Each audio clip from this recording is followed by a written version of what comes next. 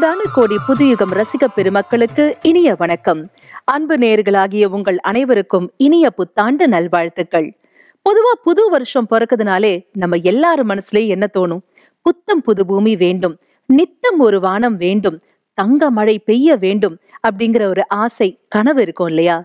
ஆனா இந்த இரண்டாயிரத்தி இருபதாம் வருடம் நமக்கு கற்றுக் கொடுத்த மிகப்பெரிய பாடம் என்னன்னா இதையும் தாண்டி இன்னும் பல வேண்டுதல்கள் இருக்கு அப்படிங்கிறது தான் பஞ்சம் பசி போக்க வேண்டும் பாலைவனம் பூக்க வேண்டும் சாந்தி சாந்தி என்ற நிம்மதியின் சங்கீதம் நம் செவிகளில் வந்து விழ வேண்டும் அப்படிங்கிறது தான் இரண்டாயிரத்தி இருபதாம் வருடம் நமக்கு அளித்த ரணங்களை இரண்டாயிரத்தி இருபத்தி ஓராம் வருடம் போக்க வேண்டும். நாம் அனைவரும் ஆனந்தமான அற்புதமான ஆரோக்கியமான வாழ்க்கையை வாழ வேண்டும் என்று அந்த இறைவனை பிரார்த்தித்துக் கொண்டு இந்த புது வருடத்திற்குள் அடியெடுத்து வைப்போம்.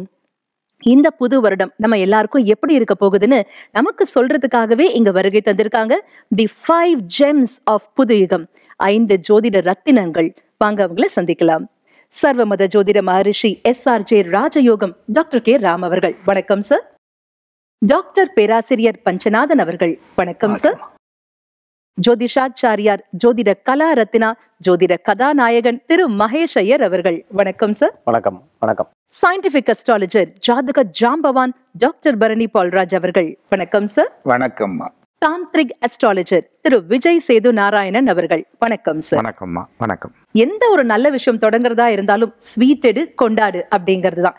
இந்த புது வருஷத்துக்குள்ள நம்ம அடியெடுத்து வைக்கும்போது ரொம்ப ஸ்வீட்டான ரொம்ப நல்ல விஷயத்தோட அடியெடுத்து வைப்போம் சார் இந்த வருடம் எங்க எல்லாருக்கும் எப்படிப்பட்ட நற்பலன்களை கொடுக்க போகுது? சார் நீங்க சொல்லுங்க. பொதுவாக இரண்டாயிரத்தி இருபத்தி ஒன்று புத்தாண்டு பூசம் நட்சத்திரம் கடக ராசி கன்னியா லக்கணத்தில் வெள்ளிக்கிழமை நாளில் சனி மகாதிசையில் ஆரம்பமாகக்கூடிய இந்த இரண்டாயிரத்தி இருபத்தொன்று புத்தாண்டு ஒரு சில வேதனைகளுக்கு முன்னாடி ஒரு சில மாற்றங்களுக்கு முன்னாடி நல்ல பல மாற்றங்களை கொடுக்கக்கூடிய அளவுக்கு. கடந்த காலங்களில் ஒரு சில விஷயங்களை உணர்த்தக்கூடிய அளவுக்கு ஆண்டு பலன் இருந்துகிட்டு இருந்தால் கூட ஒரு சில விஷயங்களை உணர்த்தினாலும் இந்த இரண்டாயிரத்தி இருபத்தி ஒன்று பல வகையில் வந்து உங்களை வந்து உயர்த்தக்கூடிய ஆண்டாகத்தான் இந்த புத்தாண்டு இருக்கும் அப்படிங்கிறதுல எல்லளவும் சந்தேகம் இல்லை கடந்த ஆண்டு இப்படி நடந்துருச்சு இந்த ஆண்டு இப்படி நடக்குமாங்கிற பயமெல்லாம் வேண்டியதில்லை. சலசலப்பே இல்லாமல் சந்தேகமே இல்லாமல் இரண்டாயிரத்தி இருபத்தி ஒன்று பல பேருக்கு வந்து பார்த்தீங்கன்னா கடந்த காலங்களில் ரணங்களை அனுபவிச்ச உங்களுக்கு நல்ல மனங்களை சந்திக்கக்கூடிய அதாவது உலகத்தில் வந்து பட்டறிவு பட்டறிவுன்னு சொல்லுவாங்க இல்லையா அந்த மாதிரி அனுபவப்பட்டு நல்ல மனங்களை நேர்த்தியான ஒரு உழைப்பாளியை சந்திக்கக்கூடிய உங்களுடைய உழைப்புக்கு தகுந்த பலன் கிடைக்கக்கூடிய உழைப்பு அப்படிங்கிற விஷயம் இருந்தால்தான் பிழைப்பு அப்படிங்கிற விஷயத்தில் நம்ம வந்து ராஜ்யம் பண்ண முடியுங்கிற விஷயத்தை உணர்த்தக்கூடிய எல்லாவற்றுக்கும் மேலாக ஓரளவாவது நீதியாவது ஓரளவாவது நேர்மையாக ஓரளவாவது உழைக்கணும் ஓரளவாவது நல்ல மனசுனா இருக்கணும் அப்படிங்கிற விஷயத்தை உணர்த்தக்கூடிய ஆண்டாகத்தான் இந்த இரண்டாயிரத்தி இருபத்தி ஒன்று புத்தாண்டு இருந்துட்டு இருக்கோம் பத்தாண்டுகளுக்கு மேலான நற்பலங்கள் கிடைக்கக்கூடிய இந்த புத்தாண்டில் வந்து ஒவ்வொருவருமே பணிவாக இருப்பதை விட பவ்யமாக இருப்பது நல்லது. அதே சமயத்தில் வந்து பாசமாக இருப்பது நல்லதாக இருந்துட்டு இருக்கும் தன்னுடைய குடும்பம் தன்னுடைய குழந்தை அப்படிங்கிறத விட பொதுவான சமூக சேவையில் ஈடுபாடு அதிகமாக இருந்துட்டு இருக்கும் மழை வருமா வாராதா அப்படிங்கிற பல்வேறு கேள்விகளுக்கு இடையே வந்து தகுந்த நேரத்தில் மழை பொழிவு இருக்கக்கூடிய பாக்கியங்கள் இருந்துகிட்டு இருக்கும் அதே சமயத்தில் வந்து உலகத்தில் நல்லவங்க இருக்கங்காட்டி தான் மழை பெய்யுதுன்னு சொல்கிறோம் இல்லையா? அந்த மாதிரி நல்லவங்களை அதிகமாக உருவாக்கக்கூடிய ஆண்டு இந்த இரண்டாயிரத்தி இருபத்தொன்று புத்தாண்டு இருந்துகிட்டு இருக்குங்கிற விஷயத்தில் நம்ம சந்தேகமே வேண்டியதில்லை. இந்த இரண்டாயிரத்தி இருபத்தொன்று புத்தாண்டு உதயமாகக்கூடிய நேரத்தில் பூமிகாரகன் செவ்வாய் பகவான் ஆட்சி பெற்று இருக்கிறதுனால பூமி சம்பந்தப்பட்ட வகையில் நல்ல வளர்ச்சிகளை காண முடியும். அதே சமயம் வந்து பார்த்தீங்கன்னா கடக ராசியில் சந்திர பகவானுடைய ஆதிக்கத்தில் இருக்கிறதுனால கண்டிப்பாக கடக ராசியை சேர்ந்தவர்களுக்கு ஓரளவு முயற்சியும் அதுக்கு தகுந்த முன்னேற்றமும் அதிகமாக கிடைக்கக்கூடிய பாக்கியம் இருந்துகிட்டு இருக்கும். இதுவரையில் வீடு இல்லை அது வாகனம் இல்லை நல்ல ஒரு பிழைப்பு இல்லை நல்ல ஒரு உத்தியோகம் இல்லைன்னு உள்ளவர்களுக்கு ஏதாவது ஒரு வகையில் ஸ்திரமான ஒரு விஷயத்தை கொடுத்துட்டு போகக்கூடிய ஆண்டாகத்தான் இந்த புத்தாண்டு இருந்துகிட்டு இருக்கும். அதே மாதிரி கன்னியா லக்கணத்தில் வந்து புத்தாண்டு உதயமாகிறதுனால கன்னி ராசியை சேர்ந்தவர்களுக்கு நல்ல இடத்துல திருமணம் செய்யக்கூடிய வாய்ப்பு மறுமணமே இல்லாத திருமணம் அமையக்கூடிய சிறப்புக்கெல்லாம் இந்த வருஷம் அதிகமாக வந்துட்டு இருக்கும் எல்லாவற்றுக்கும் மேலாக குரு பகவானும் சனி பகவானும் இணைந்து நீச்ச பங்க ராஜயோகத்தோடு இருக்கிறதுனால ஓரளவு சிறப்புகளையும் பொறுப்புகளையும் சந்திக்கக்கூடிய ஆண்டாகத்தான் இரண்டாயிரத்தி இருபத்தொன்று புத்தாண்டு ஆரம்பமாகும் அப்படிங்கிற விஷயத்தை அடிப்படையாகவே நம்பலாம். நீங்க சொல்றதை கேட்கும் போதே எங்க எல்லாருக்கும் அப்பாடான ஒரு நிம்மதி பெருமூச்சு தான் சார் வருது. பொறுத்திருந்து பார்ப்போம். ஐயா நீங்க சொல்லுங்க. எப்படி இருக்க போகுது இந்த வருடம்? ஒவ்வொரு ஆண்டும் பிறக்கிற போது இந்த ஆண்டு நமக்கு மகிழ்ச்சி பூக்களாக அமையணும் அப்படின்னு தான் நம்ம எதிர்பார்க்கிறோம். அந்த நல்ல நோக்கம் நிறைவேறுவதற்கு இந்த ஆண்டு நமக்கு உதவி செய்ய வேண்டும். தனம் தரும் கல்வி தரும் தளர்வரியா மனம் தரும் என்று அந்த அம்பாளை நம்ம வழிபடுகிறோம். அப்போது ஒரு நல்ல தனம் நமக்கு கிடைத்தால் வாழ்க்கை நமக்கு மகிழ்ச்சியாக இருக்கும். நம்ம பிள்ளைகளுக்கு ஒரு நல்ல கல்வி கிடைத்தால் இந்த ஆண்டு மகிழ்ச்சியான ஆண்டுன்னு சொல்லுவோம். எல்லாவற்றையும் விட நோயற்ற ஆண்டாக இருக்காதா என்ற ஒரு ஏக்கத்திலே நாம் இருந்து கொண்டிருக்கிறோம். அப்படி பார்க்கிற போது இந்த ஆண்டு முதல்ல வெள்ளிக்கிழமையிலே பிறக்கிறது அப்படிங்கிற போது மகாலட்சுமியுடைய அனுக்கிரகம் நமக்கு கிடைக்கும் என்ற நம்பிக்கை நமக்கு தொழில் விடுகிறது அதே போல இந்த ஆண்டு பிறக்கக்கூடிய நட்சத்திரம் பார்த்தீங்கன்னா பூசம் நட்சத்திரம். குபேரனுடைய நட்சத்திரம் அப்படின்னு சொல்கிறோம் குரு பகவானுடைய நட்சத்திரம்ங்கிறோம். இதெல்லாம் நமக்கு குரு பகவானுடைய நட்சத்திரம் என்று சொல்கிற போது நல்ல படிப்பினை இந்த ஆண்டு நமக்கு கிடைக்கும். ஏழாம் இடத்திலிருந்து அந்த கடகத்திற்கு ஏழாம் இடத்திலிருந்து சனி பகவானும் அந்த சந்திரனை பார்க்கிறார் அப்படிங்கிற போது அனுபவங்களின் தொகுப்பாக இந்த ஆண்டு இருக்கும். நாம் நிறைய அனுபவங்களை கற்றுக்கொள்ளப் போகிறோம். நல்ல நண்பர்கள் யார்? உடன் இருந்து நம்மை கெடுப்பவர்கள் யார்? வாழ்க்கையிலே நமக்கு முன்னேற்றத்திற்கு நெருங்கிய நண்பர்கள் கூட உதவுவார்களா இல்லையா? என்று சகலரையும் நாம் தெரிந்து கொள்ளப் போகிற ஒரு ஆண்டாகத்தான் இந்த ஆண்டு இருக்கப் போகிறது. குரு பகவான் நல்ல பாடங்களை நமக்கு கற்றுத்தரப் போகிறார். அல்லனவற்றை விளக்கப் போகிறார். அதை போல குபேரனுடைய நட்சத்திரம் அப்படிங்கிற போது நாம் மிக விரைவாக முன்னேறுவதற்கு இறைவனுடைய அனுக்கிரகம் கிடைக்கும் அப்படின்னு மகுறோம் எப்படி நம்புகிறோம்னா நல்ல தொழில் முறையிலே நல்ல ஒரு முன்னேற்றம் வரும். எல்லா தொழிற்சாலைகளிலும் நலிவடைந்து இருக்கிறது தொழிலாளர்கள் பலர் வேலை இழந்திருக்கிறார்கள். அவர்களுக்கெல்லாம் ஒரு நல்ல வாழ்க்கை உதயமாவதற்கு இந்த புது வருடத்திலே வழி பிறக்காதா என்று காத்திருக்கிறோம். அந்த நட்சத்திரத்தை பார்க்கிற போது நமக்கு ஒரு நம்பிக்கை தொழில் விடுகிறது மெல்ல மெல்ல வாய்ப்புகள் கூடி வரும். நம்முடைய தொழிலாளர்கள் பிழைத்துக்கொள்ள ஒரு வாய்ப்புகள் கிடைக்கும் என்று நாம் நம்புகிறோம். அப்படி எல்லா வகையிலுமே ஒரு முன்னேற்றத்தை தரக்கூடிய இறைவனுடைய அனுக்கிரகத்தை தரக்கூடிய ஆண்டாக இந்த ஆண்டு அமையும் அப்படிங்கிறதுக்கு லக்னத்துக்கு லாபத்திலே சந்திர பகவான் அமைந்து நமக்கு ஒரு நம்பிக்கையை ஏற்படுத்துகிறார். கன்னியா லக்னத்துக்கு லாபத்திலே கடகராசியிலே சந்திர பகவான் அமர்ந்து வருடம் தொடங்குகிற போது நமக்கு ஒரு நம்பிக்கை ஏற்படுகிறது. எப்படியும் நாம் நம் சிக்கல்களிலிருந்து மீண்டு வருவோம். இறைவன் நமக்கு கருணை காட்டுவான் என்ற நம்பிக்கை பிறக்கிறது. அந்த நம்பிக்கையோடையே இந்த ஆண்டை தொடங்குவோம்மா. நிச்சயமா சார் நம்பிக்கை தான் வாழ்க்கை இல்லைங்களா? ஐயா நீங்க சொல்லுங்க. இந்த இரண்டாயிரத்தி இருபத்தி ஓராம் வருடம் நமக்கெல்லாம் எப்படி இருக்க போகுது? நற்பலன்கள். வான்முகில் வளாது பெய்க மணிபடம் சுரக்க மன்னன். கோன்முறை அரசு செய்க குறைவிலாத உயர்கள் வாழ்க. நான் மறை அறங்கள் ஓங்குக. நற்றவன் மேன்மைகொள் மேன்மைகொள். சைவ நீதி விளங்குக. உலகமெல்லாம் வேல் வேல் முருகாம். வெற்றிவேல் முருகனுக்கரகரோகரா இரண்டாயிரத்தி இருபத்தி ஒன்று. இந்த இரண்டாயிரத்தி இருபத்தி ஒன்று அப்படின்னு சொல்லும் பொழுது முதல்ல இந்த ஆங்கில புத்தாண்டுக்கு நமக்கு வந்து பலன்கள் இருக்கா அப்படின்னா நம்ம எல்லாரும் ஆங்கில தேதிகளை உபயோகப்படுத்துறது நம்ம முதன்மையாக இருந்துன்னு இருக்கோம் ஆக பஞ்சாங்கம் எப்போ நமக்கு சொல்லப்படுறது அப்படின்னா சித்திரை மாதம் தான் நமக்கு பஞ்சாங்கம் கொடுக்கப்படுறது. அப்போது இந்த ஆங்கில மாதம் நம்ம அதிகமாக உபயோகப்படுத்துகிறங்காட்டி இன்றைக்கி மார்கழி பதினேழு அப்படின்னு சொன்னால் நிறையா பேருக்கு தெரியும் சில பேருக்கு தெரியறது கிடையாது. ஆனால் ஜனவரி ஒன்றாம் தேதினா நிறையா பேருக்கு தெரியறது உண்டு. ஆக பஞ்சாங்கங்களில் ரொம்ப அழகாக எழுதப்பட்டிருக்கு. என்ன அப்படின்னு பார்த்துட்டிங்கன்னா நல்லது கெட்டது. இது நல்லதை மட்டும் சொல்லணும்னு இல்லை கெட்டதும் சேர்ந்து சொல்லுவோம் அப்படிங்கிற ஒரு விஷயத்தை கால புருஷ தத்துவத்தின் பிரகாரம் பார்த்துட்டோம்னா இது என்ன யுகம் அப்படின்னா கலியுகம். பொதுவாகவே நம்ம வாழ்க்கையில் ஒவ்வொரு யுகங்கள் தாண்டி வரும்பொழுது ஒவ்வொரு அனுபவங்கள் நம்ம வாழ்க்கையில் பெருகி பெருகி வரக்கூடியதாக இருந்துருக்கும் ஸோ இது ஒவ்வொரு காலகட்டத்திலையும் நம்ம அனுபவிச்சிருக்கோம்னு சொல்ல முடியும். உதாரணத்துக்கு பார்த்தீங்கன்னா பிளேக் நோயின்ற நோய்கள்லாம் வந்திருக்கு. அம்மைங்கிற ஒரு பெரிய நோய்கள்லாம் நம்மளுடைய தாத்தா காலத்துல எல்லாம் வந்திருக்கு. இன்றைக்கி நமக்கு இந்த நோய் அப்படிங்கிறது போன ஆண்டு நம்ம நிறையா சந்திச்சிருக்கக்கூடிய வாய்ப்புகள் நம்ம எழுதப்பட்டிருக்குன்னு சொல்லலாம். இனி வரக்கூடிய காலங்களில் இது இல்லாது இருக்கிறதுக்கு நம்ம என்ன பண்ணிக்கணும்? உதாரணத்துக்கு வாழ்க்கையில் ஒரு தொழில் வந்து கெட்டவனுக்கு பார்த்துட்டிங்கன்னா அதில் என்னென்ன அனுபவம்னு கேட்டிங்கன்னா படிப்படியாக சொல்லுவான். ஐயோ இனிமேல் இப்படி இருக்கக்கூடாதுப்பா அப்படி இருக்கக்கூடாதுப்பான்னு சொல்லுவான். வெளிநாட்டிலேருந்து சொந்த ஊருக்கு வந்தவன். அப்படி அந்த ஊருக்கு வந்தவங்ககிட்ட கேட்டால் பா இப்போ பிஸ்னஸ்னால் போதும்ப்பா நான் ஊர் ஊரா சுற்றிட்டு வந்தாச்சு. இந்த அனுபவம் என் வாழ்க்கையில் போதும். அப்படின்னு நினைக்கக்கூடியவை ஏராளமான பேர் இருப்பா. அந்த மாதிரி நம்ம வாழ்க்கையில் என்ன அனுபவம் அப்படின்னு கேட்டிங்கன்னா இந்த கலியுகத்தில் இந்த இரண்டாயிரத்தி இருபது போன ஆண்டு நம்மளுக்கு ஒரு பெரிய அனுபவத்தை கொடுத்துருக்கு. முதல்ல தொழிலை முக்கியமாக நாம் கவனமாக பார்த்து கொள்ள வேண்டும். இரண்டாவது குடும்பம்ங்கிறது நமக்கு ரொம்ப முக்கியம். மூணாவது பணம் சேமிப்புங்கிறது ரொம்ப ரொம்ப அவசியமாகப்படுகிறது. நாலாவது விஷயம் பார்த்துட்டீங்கன்னா நம்ம ஆரோக்கியமாக இருக்க வேண்டுமென்றால் சில விதிகளை நாம் கடைபிடித்தே ஆக வேண்டும். இதுதான் சாஸ்திரத்தில் அன்னைக்கே சொல்லியிருக்கா. நல்லா கால் கழுவு நல்லா கையை கழுவு. இது எல்லா விஷயங்களும் சொல்லப்பட்டிருக்கிறது.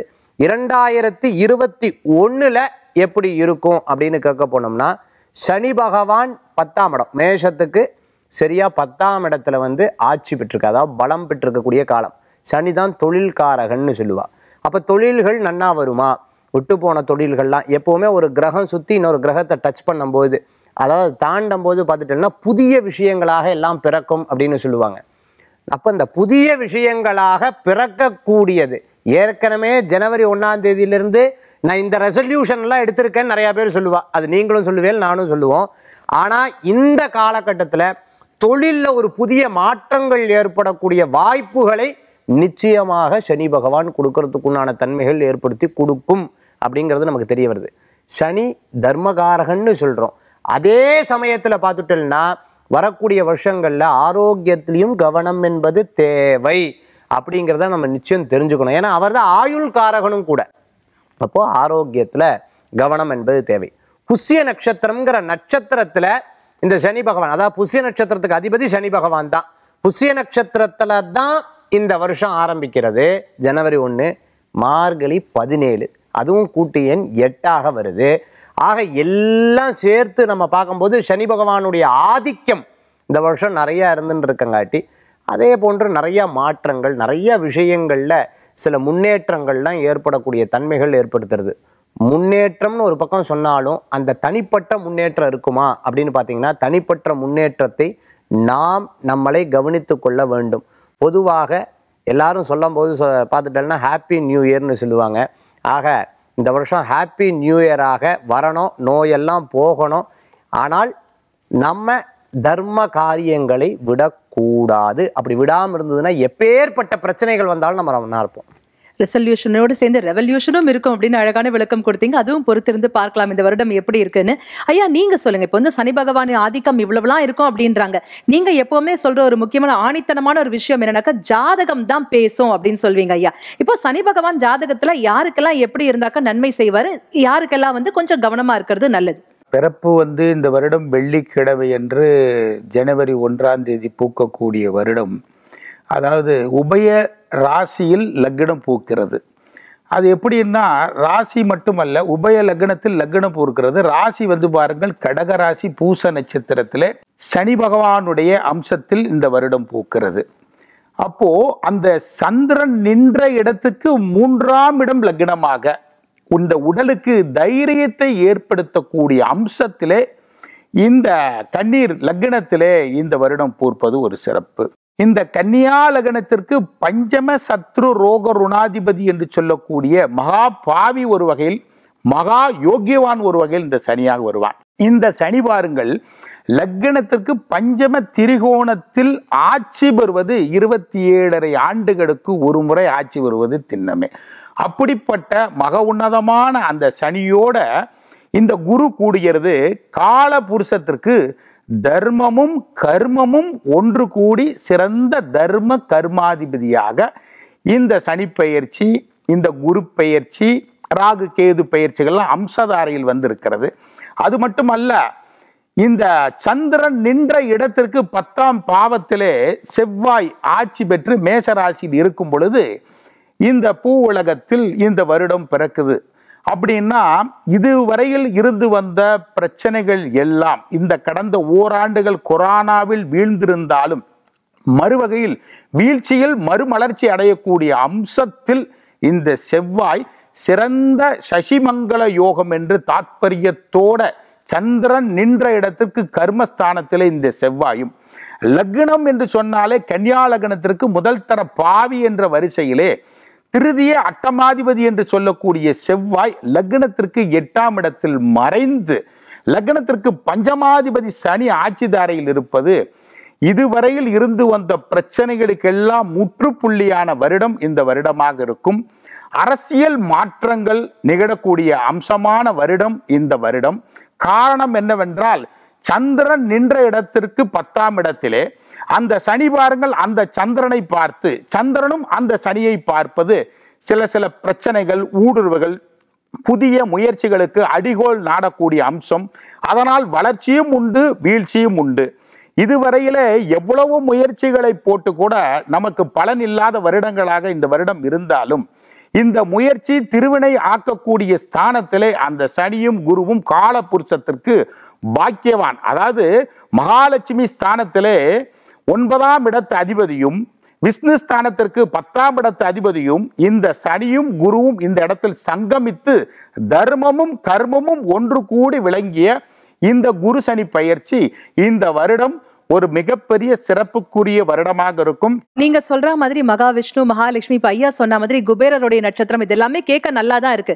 ஆனா எங்க எல்லாருக்குமே நன்மை செய்யுமா? அதுதான் என்னுடைய. அதாவதுமா அடிக்கடி நிகழ்ச்சி தொகுப்பில் சொல்லுவதைப் போல ஜனன ஜாதகமே இறுதியான உறுதியான அறுதியான பலன்களை செய்யுமே ஒழிய இது எப்படி எடுத்துக்கொள்ள வேண்டும்? இலையில் பரிமாறப்பட்ட ஒரு ஊறுகாயை போன்றுதான் எடுத்துக்கொள்ள வேண்டும் இந்த சனி பயிற்சி இந்த குரு பயிற்சி இந்த வருட பயிற்சி இருப்பினும் ஜனன ஜாதகத்தில் கோள்கள் சிறப்பாக அமரப்பெற்றவர்களுக்கு எவ்வளவு வீழ்ச்சியிலும் வளர்ச்சி அடையக்கூடிய ஜாதங்கள் வளர்ந்து கொண்டேதான் இருக்க போகிறது. அதனால இந்த வருடம் ரெண்டாயிரத்தி இருபது இப்படி இருந்தது. ரெண்டாயிரத்தி இருபத்தொன்றில் மாற்றம் வருமா என்றால் அந்த மாற்றம் அங்கே பிறக்கும் பொழுது அந்த அடைவுகளை நாம் பெற்றிருந்தால் கட்டாயம் இருபத்தொன்னாக இருந்தாலும் என்ன இருபத்தி ரெண்டாக இருந்தாலும் மாற்றம் அவர்கள் ஜாதகத்தில் இருக்கும். எல்லோருக்கும் கிடைக்குமா? அதுதான் இல்லை. நிச்சயமா அந்த மாற்றம் ஏற்றமாக இருக்குமா ஏமாற்றமாக இருக்குமா அப்படிங்கறதெல்லாம் அவங்க ஜாதக அமைப்பு அவங்க கட்டம் தான் பதில் சொல்லும் அப்படின்னு சொன்னீங்க. ஐயா நீங்க சொல்லுங்க இரண்டாயிரத்தி இருபத்தி ஒன்று எங்க வாழ்க்கையில எப்படிப்பட்ட நல்ல மாற்றங்களை கொண்டு வரும்னு நாங்க எதிர்பார்க்கலாம்? ஓம் சுவாமியே சரணம் ஐயப்பா. இந்த வருடம் வந்து இரண்டாயிரத்தி இருபத்தி ஒன்று இந்த பிரச்சனையிலேருந்து நம்ம முதல்ல கொரோனாலேருந்து வெளியே வந்துடுவோம் பரிபூர்ணமாக வெளியே வந்துடுவோம் ரெண்டாவது அதுக்குள்ள மருந்துகள் வந்துடும் வந்துடும் அதே போல் வந்து பார்த்திங்கன்னா ஒரு பத்தாவது மாதம் வரைக்கும் ஒரு பொருளாதார வீழ்ச்சிகள்ங்கிறது கொஞ்சம் கொஞ்சம் இருந்தாலும் அதுக்கப்புறமா பொருளாதார ரீதியான முன்னேற்றங்கள் ரெண்டாயிரத்தி இருபத்தொன்று முன்னாடியே நம்ம சொல்கிற மாதிரி பஞ்சாங்கங்கள் அடிப்படையில் தான் நம்ம பார்க்குறது நம்ம வழக்கமாக இருக்கிற காரணத்தினால. ரெண்டாயிரத்தி இருபத்தி ஒன்றில் பொறுத்த வரைக்கும் நம்மளுடைய பொருளாதார நிலைகள் வந்து கொஞ்சம் சீர்படுமே ஒழிஞ்சு ஒரு பிரம்மாண்டமான வளர்ச்சிகளோ அந்த மாதிரி விஷயங்கள் இருக்கிறதுக்கான வாய்ப்புகள் கம்மி தான் பட் ஆனால் நம்ம நம்ம நம்ம சொல்கிற மாதிரி சனி பகவானும் சரி சனீஸ்வர பகவானும் சரி அவரோட ஆட்சிக்கு வர்றது வந்து இருபத்தேழு ஆண்டுகள் சில காலங்களில் முப்பது வருஷத்துக்கு ஒரு தடவை ஆட்சி வரும் பொழுது அரசியல் ரீதியான மாற்றங்கள் திண்ணமாக மாறும். அதே போல் இதில் வந்து என்ன நம்ம புரிஞ்சுக்கணும் அப்படின்னா இப்போ வரக்கூடிய காலங்கள் ரெண்டாயிரத்தி இருபது இருபத்தி ஒன்று இந்த இருபத்தொன்று காலங்களில் நம்ம பார்க்க வேண்டியது நம்ம குரு பயிற்சியும் பார்க்கணும் சனி பயிற்சியும் பார்க்கணும் ராகு கேது பயிற்சிகளும் பொதுவான விதிகளில் பார்க்கும் பொழுது பெண்களுக்கு மிகப்பெரிய யோகங்கள் வரும். அதே போல் நீர்நிலைகள் வந்து நிரம்பி வழியும். அதே போல் அந்த ரியல் எஸ்டேட் துறை அப்படிங்கிறது வந்து பார்த்திங்க அப்படின்னா ஒரு ஜூலை ஆகஸ்ட்டுக்கு அப்புறமா வந்து ரியல் எஸ்டேட் துறை வந்து ரொம்ப நல்ல தமிழகத்தை பொறுத்த வரைக்கும் நல்ல மாற்றங்கள் வரும். அரசியல் மாற்றங்கள் உறுதியாக திண்ணமாக நம்மளுடைய தமிழக அரசியலில் வந்து மாபெரும் மாற்றங்கள் உறுதியாக நடக்கும். அதில் எல்லா எல்லளவும் மாறுபட்ட கருத்தல்ல.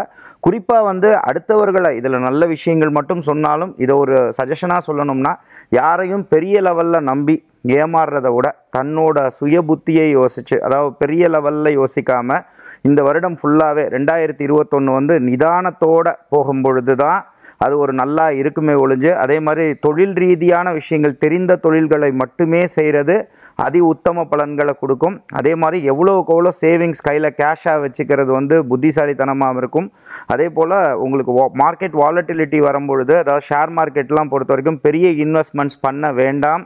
இருந்தாலும் பத்தாவது மாதத்தில் லாங் டேர்ம் விஷனில் இல்லை மீடியம் டேர்ம் விஷனில் ஷேர் மார்க்கெட்டில் இன்வெஸ்ட் பண்ணினால் நல்ல ஒரு மாற்றங்கள் வரும். டிசம்பருக்கு அப்புறம் ஷேர் மார்க்கெட்டில் இருக்கும். ஸோ பெரிய இன்வெஸ்ட்மெண்ட்ஸ் பண்ணாமல் ஒரு நார்மலான லைஃப் வந்து பண்ணும் பொழுது கண்டிப்பாக உறுதியாக நிதானத்தோட வாழ்கிற எல்லாருக்குமே நல்லது. ஆனால் ஜனனகால ஜாதகமே இறுதியானது.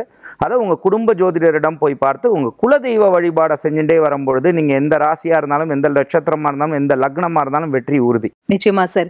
அதாவது மாற்றம் ஒன்றே மாறாதது அப்படின்னு அழகான விளக்கம் கொடுத்தீங்க. சார் நீங்க சொல்லுங்க முதல் ராசியான மேஷத்திற்கு இந்த இரண்டாயிரத்தி இருபத்தி ஓராம் வருடம் என்னென்னலாம் செய்ய போகுது? சொல்லுங்க சார். இதில் குறிப்பாக மேஷ ராசி மேஷ லக்னமாக இருக்கிறவங்களுக்கு இந்த நான் சொல்லக்கூடிய பலன்கள் வந்து கூடவே பொருந்தும். இப்போ இதில் வந்து முதல்ல நீங்கள் என்ன புரிஞ்சுக்கணும் அப்படின்னா உங்களுடைய கோவத்தை குறைக்க வேண்டும்.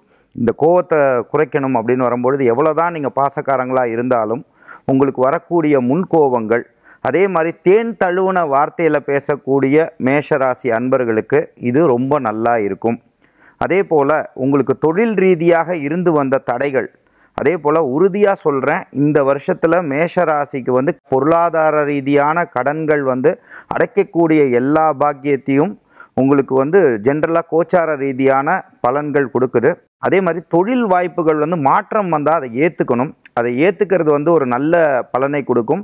பெண்களை மதிக்கிறதும் அதே போல் நீங்கள் செய்ய வேண்டியது வந்து பார்த்தீங்க அப்படின்னா உறுதியாக வந்து ஆராய்ச்சிகள் அதாவது உள்ள இன்ஸ்டிங்சுவல் பவர்ஸ் தியானம் யோகா உங்களுக்குள்ளே இருக்கக்கூடிய சில அமானுஷ்யமான விஷயங்கள். இந்த மாதிரி விஷயங்கள் தியானம் மூலமாகவும் யோகா மூலமாகவும் தனக்குள் இருக்கும் மண்டத்தில் இருக்கும் ஈசனை பிண்டத்தில் உணர்றதுக்கான நல்ல காலங்கள் உண்டு. ஏன்னா எட்டில் வந்து காலபுருஷ தத்துவப்படி உங்களுக்கு பார்க்கும் பொழுது உங்களுக்கு கேது பகவான் வரும் பொழுது அப்போ உங்களுக்கு அந்த மாதிரி விஷயங்கள் வ வர்றதுக்கான வாய்ப்புகள் அதிகமாக உண்டு. இந்த டயத்தில் உங்களுக்கு என்ன ஆகும்னா திருமணம் ஆகாத இருக்கக்கூடிய மேஷராசி அன்பர்களுக்கு நல்ல ஒரு திருமணம் நடக்கிறதுக்கான வாய்ப்புகள் வெளிநாடு போகக்கூடிய வாய்ப்புகளும் ரியல் எஸ்டேட் துறையில் இருக்கிறவங்களுக்கு நல்ல ஒரு மாற்றங்கள் வந்து அக்டோபர் மாதத்துலேருந்து உங்களுக்கு வர்றதுக்கான அதிக வாய்ப்புகளும் பெண்கள் குறிப்பாக மேஷராசியில் இருக்கக்கூடிய பெண்களுக்கு நல்ல ஒரு நல்ல ஒரு முன்னேற்ற பலன்களும். அதே போல் உங்களுக்கு வந்து இன்கேஸ் நீங்கள் வந்து பிஸ்னஸில் இருக்கீங்க ஒரு ட்ரேடிங் அந்த மாதிரி விஷயங்களில் இருக்கீங்கன்னா அகலக்கால் வைக்காமல் ஒருவேளை உங்களுக்கு ஒரு தொழில் இருந்ததுன்னா அந்த தொழிலில் பண்ணுறதும் புதிய முயற்சிகள் இந்த டயத்தில் செய்யாமல் ஒரு நிதானத்தோட செயல்படுறது வந்து உச்சித பலன்கள் கிடைக்கும். ஆனால் உழைக்கணும். எவ்வளோவுக்கு எவ்வளோ உழைக்கிறீங்களோ அவ்வளோவுக்கு அவ்வளோ தான் இந்த வருடத்தில் பலன் இருக்கும். இதுக்கு உங்களுக்கு வழிபாடுகள்னு பார்க்கும் பொழுது எப்பயுமே வந்து உங்களுக்கு திருச்செந்தூர் முருகனோட வழிபாடும் அதே போல் கந்தசஷ்டி கவசம் படிக்கிறதும் கோளறு பதிகம் படிக்கிறதும் கோளறு பதிகம் எவ்வளோவுக்கு எவ்வளோ நீங்கள் படிக்கிறீங்களோ அவ்வளோக்கு அவ்வளோ நல்ல விஷயங்கள். ராகு கால நேரத்தில் துர்க்கை அம்மனை வழிபடுறதும் அதே போல் யமகண்ட நேரத்தில் வந்து விடாமல் நீங்கள் பண்ண வேண்டியது விநாயகரை வழிபடுறதும் உக்ர வழிபாட்டில் வழிபட விரும்புகிறவங்களுக்கு வந்து காளியை வழிபடுறதும் உங்கள் வாழ்க்கையில் நல்ல மாற்றத்தை கொடுக்கும். இடையில காலங்களுக்கு இந்த காலங்களில் வரும்பொழுது பெரியவர்களை மதிக்கிறதும் அதே மாதிரி ஒரு குருவை வழிபடுறதும் மகா பெரியவாளாக இருக்கட்டும் உங்கள் ராகவேந்திர சுவாமியாக இருக்கட்டும் அதே மாதிரி குருவை நிந்திக்காமல் குருவை வந்து எதுவுமே சொல்லக்கூடாது. நீங்கள் நல்லா புரிஞ்சுக்கணும் மேஷராசி அன்பர்களுக்கு குரு பாக்யவான் அதனால கண்டிப்பாக பெரியவர்களை மதிக்கிறது வந்து உங்களுக்கு ஒரு நல்ல ஒரு முன்னேற்றத்தை கொடுக்கும். இந்த வாழ்க்கையில் நிதானத்தோட போனால் மேஷராசிக்கு வெற்றி உறுதி. போதும் என்ற மனமே பொன் செய்யும் மருந்துன்னு மேஷம் மேன்மைன்னு அழகான விளக்கம் கொடுத்தீங்க. ஐயா ரிஷப ராசிக்கு இரண்டாயிரத்தி இருபத்தி ஓராம் வருடம் எப்படிப்பட்ட பலன்களை கொடுக்க போகுது? கால புருஷ தத்துவத்திற்கு நாலாம் இடத்து அதிபதி ஒரு ஜாதகத்தில் ரெண்டாம் பாவத்திலே அதாவது காலனுக்கு ரெண்டில் உச்சம் பெறக்கூடிய உன்னதமான சுகத்தை லயக்கக்கூடிய சந்திரன் ரிஷபமனையில் பிறந்தவர்களுக்கு ரிஷப ராசியில் பிறந்தவர்களுக்கு ராசிக்கு எட்டாம் இடம் என்று சொல்லக்கூடிய ஆயுள் ஸ்தானத்திலே அஸ்தம சனியாக கடந்த இரண்டரை ஆண்டுகள் உலா வந்த அந்த சனியினுடைய தாக்கத்திலிருந்து பிடியிலிருந்து துன்பத்தில் இருந்து பாக்கியத்தில் அந்த சனி பாக்கியவான் ஆட்சி பெறுவது. லக்கு ராசிக்கு பாதகாதிபதி என்று சொல்லக்கூடிய பாக்கியாதிபதி ஆட்சி பெற்று தன் வீட்டில் அமர்வது திண்ணமே. அது ஒரு சிறப்பே. அது மட்டுமல்ல இந்த ஆண்டு பிறப்பே பாருங்கள் ரிஷபராசிக்கு மூன்றாம் பாவத்திலே அந்த சந்திரன் ஆட்சி பெற்று தேக சுகத்துக்கு உண்டானவன் அந்த ஸ்தானத்தில் கடகமனையில் ஆட்சி பெறுவது. அது ஒரு சிறப்பு. அப்போ என்ன? திருமண ரீதியாக பிரச்சனை திருமணம் நடந்து பல பிரச்சனை உலா வந்தவர்களுக்கும் சரி திருமண ரீதியாக தடை கற்களாக இருந்து வந்தவர்களுக்கும் இந்த ரிஷபராசி அன்பர்களுக்கு இந்த குருனுடைய பார்வை சுபிச்ச ரீதியாகவும் கடகத்தையும் இந்த குரு பார்க்கிறது ராசியையும் பார்க்கிறது. அந்த கடக மனையும் இந்த குரு பார்ப்பதனால் திருமண ரீதியாக இருந்து வந்த தடைக்கற்கள் விலகும். புத்திர சௌபாக்கியம் என்று சொல்லக்கூடிய ஐந்தாம் இடத்து புத்திர ஸ்தானத்தை இந்த பொன்னவன் ஐந்தாம் பார்வையாக பார்ப்பது மழலை செல்வங்கள் ரீதியாக இருந்து வந்த பிரச்சனைகள் இல்லை மழலை செல்வம் பூக்காதவர்களுக்கு இந்த வருடம் அற்புதமான மழலை செல்வங்களை பெற்றெடுக்கக்கூடிய உசிதமான காலம் இந்த குரு பெயர்ச்சி. இது நாள் வெறும் வந்து வந்த தொழில் சாலைகள் ஆகட்டும் தொழில் முடக்கங்கள் ஆகட்டும் திரை அரங்குகள் ஆகட்டும் மக்கள் பிரஜைக்கு ஏதுவான இந்த சனி ஆட்சி பெற்றதனால் மக்கள் சஞ்சாரம் கூட வேண்டிய இடத்திலே இவ்வளோ காலம் பிரச்சனை இருந்து வந்ததெல்லாம் விலகி மக்களுக்கு ஏதுவான சுபிச்சமான காலமாக இந்த சனி பயிற்சியும் சாதக தாரையிலே இருபத்தி ஆறாம் தேதி. அது மட்டுமல்லாமல் இந்த ராசிக்கு ஒன்பதாம் இடத்தில் பாக்கியத்தில் வருவது மிகப்பெரிய ஐஸ்வர்யம். அது மட்டுமல்லாமல் மூன்றாம் இடம் என்று சொல்லக்கூடிய வீர தீர பராக்கிரம ஸ்தானத்தை இந்த குரு பகவான் பார்த்து சனியும் பார்ப்பதனால் இந்த தேக சுகத்துக்கு உடல் ரீதியான பிணிகள் இருந்தவர்களுக்கு இந்த ரிஷபராசி என்பர்களுக்கு கட்டாயம் உடல் பிணியும் விலகும் கடன் பிணியும் விலகும் பொருளாதார உயர்வுகளையும் கொடுக்கும் மக்கள் செல்வத்துக்கு அபிவிருத்தியான காலம் அது மட்டுமல்லாமல் கல்வி அமைப்பு உள்ளவர்களாகட்டும் எல்லாத்துக்கும் விடிவு காலம் இந்த சனி பெயர்ச்சி குரு பெயர்ச்சி இந்த வருட பெயர்ச்சியின் காரணமாக எல்லா சுபிச்சங்களும் அடையக்கூடிய வருடமாகத்தான் இந்த வருடம் பூக்குமே ஒழிய இருப்பினும் ஜனன ஜாதகத்தில் சிறப்பான திசா புத்தி அடிப்படையில் உள்ள இந்த ரிஷபராசி அன்பர்களுக்கு கட்டாயம் ஏதுவான இந்த ரெண்டாயிரத்தி இருபத்தொன்னு காலம் சிறப்பு தான் ரிஷபத்தின் ரிசல்ட் ஆல் பாஸ் அப்படின்னு அழகான விளக்கம் கொடுத்தீங்க. ஐயா அடுத்ததாக மிதுன ராசிக்கு இந்த வருடம் எப்படி இருக்க போகுது? மிதுன ராசி அன்பர்களுக்கு பார்த்துட்டீங்க அப்படின்னு சொன்னா நான் சொல்றத அழகா குறிச்சு வச்சிருந்தாலே அவங்களுக்கு நல்ல பலன்கள் கிடைக்கக்கூடியதா இருக்கு. ஏன்னா பிளானட்ரி பொசிஷன் அதாவது பிளானட்ரி வந்து ஒரு இடத்துல இருந்து பிளானட் வந்து ஒரு இடத்துல இருந்து இன்னொரு இடத்துக்கு மாறக்கூடிய விஷயத்தை வைத்து தான் ரொம்ப அழகாக பலாபலன்கள் சொன்னார் ஃபஸ்ட்டு ஸ்டார்ட் பண்ணும்போது பார்த்தீங்கன்னா ராம் சார் அதான் சொல்லியிருந்தார் அதே மாதிரி ஐயாவும் அதான் சொல்லியிருந்தார். மற்ற இதர நம்மளுடைய ஜோதிட வல்லுநர்களும் பார்த்துட்டிங்கன்னா அந்த பிளானட்ரி பொசிஷனை வச்சு தான் அதோடைய பலன்கள் ரொம்ப அழகாக சொல்லி வச்சுருக்காங்க.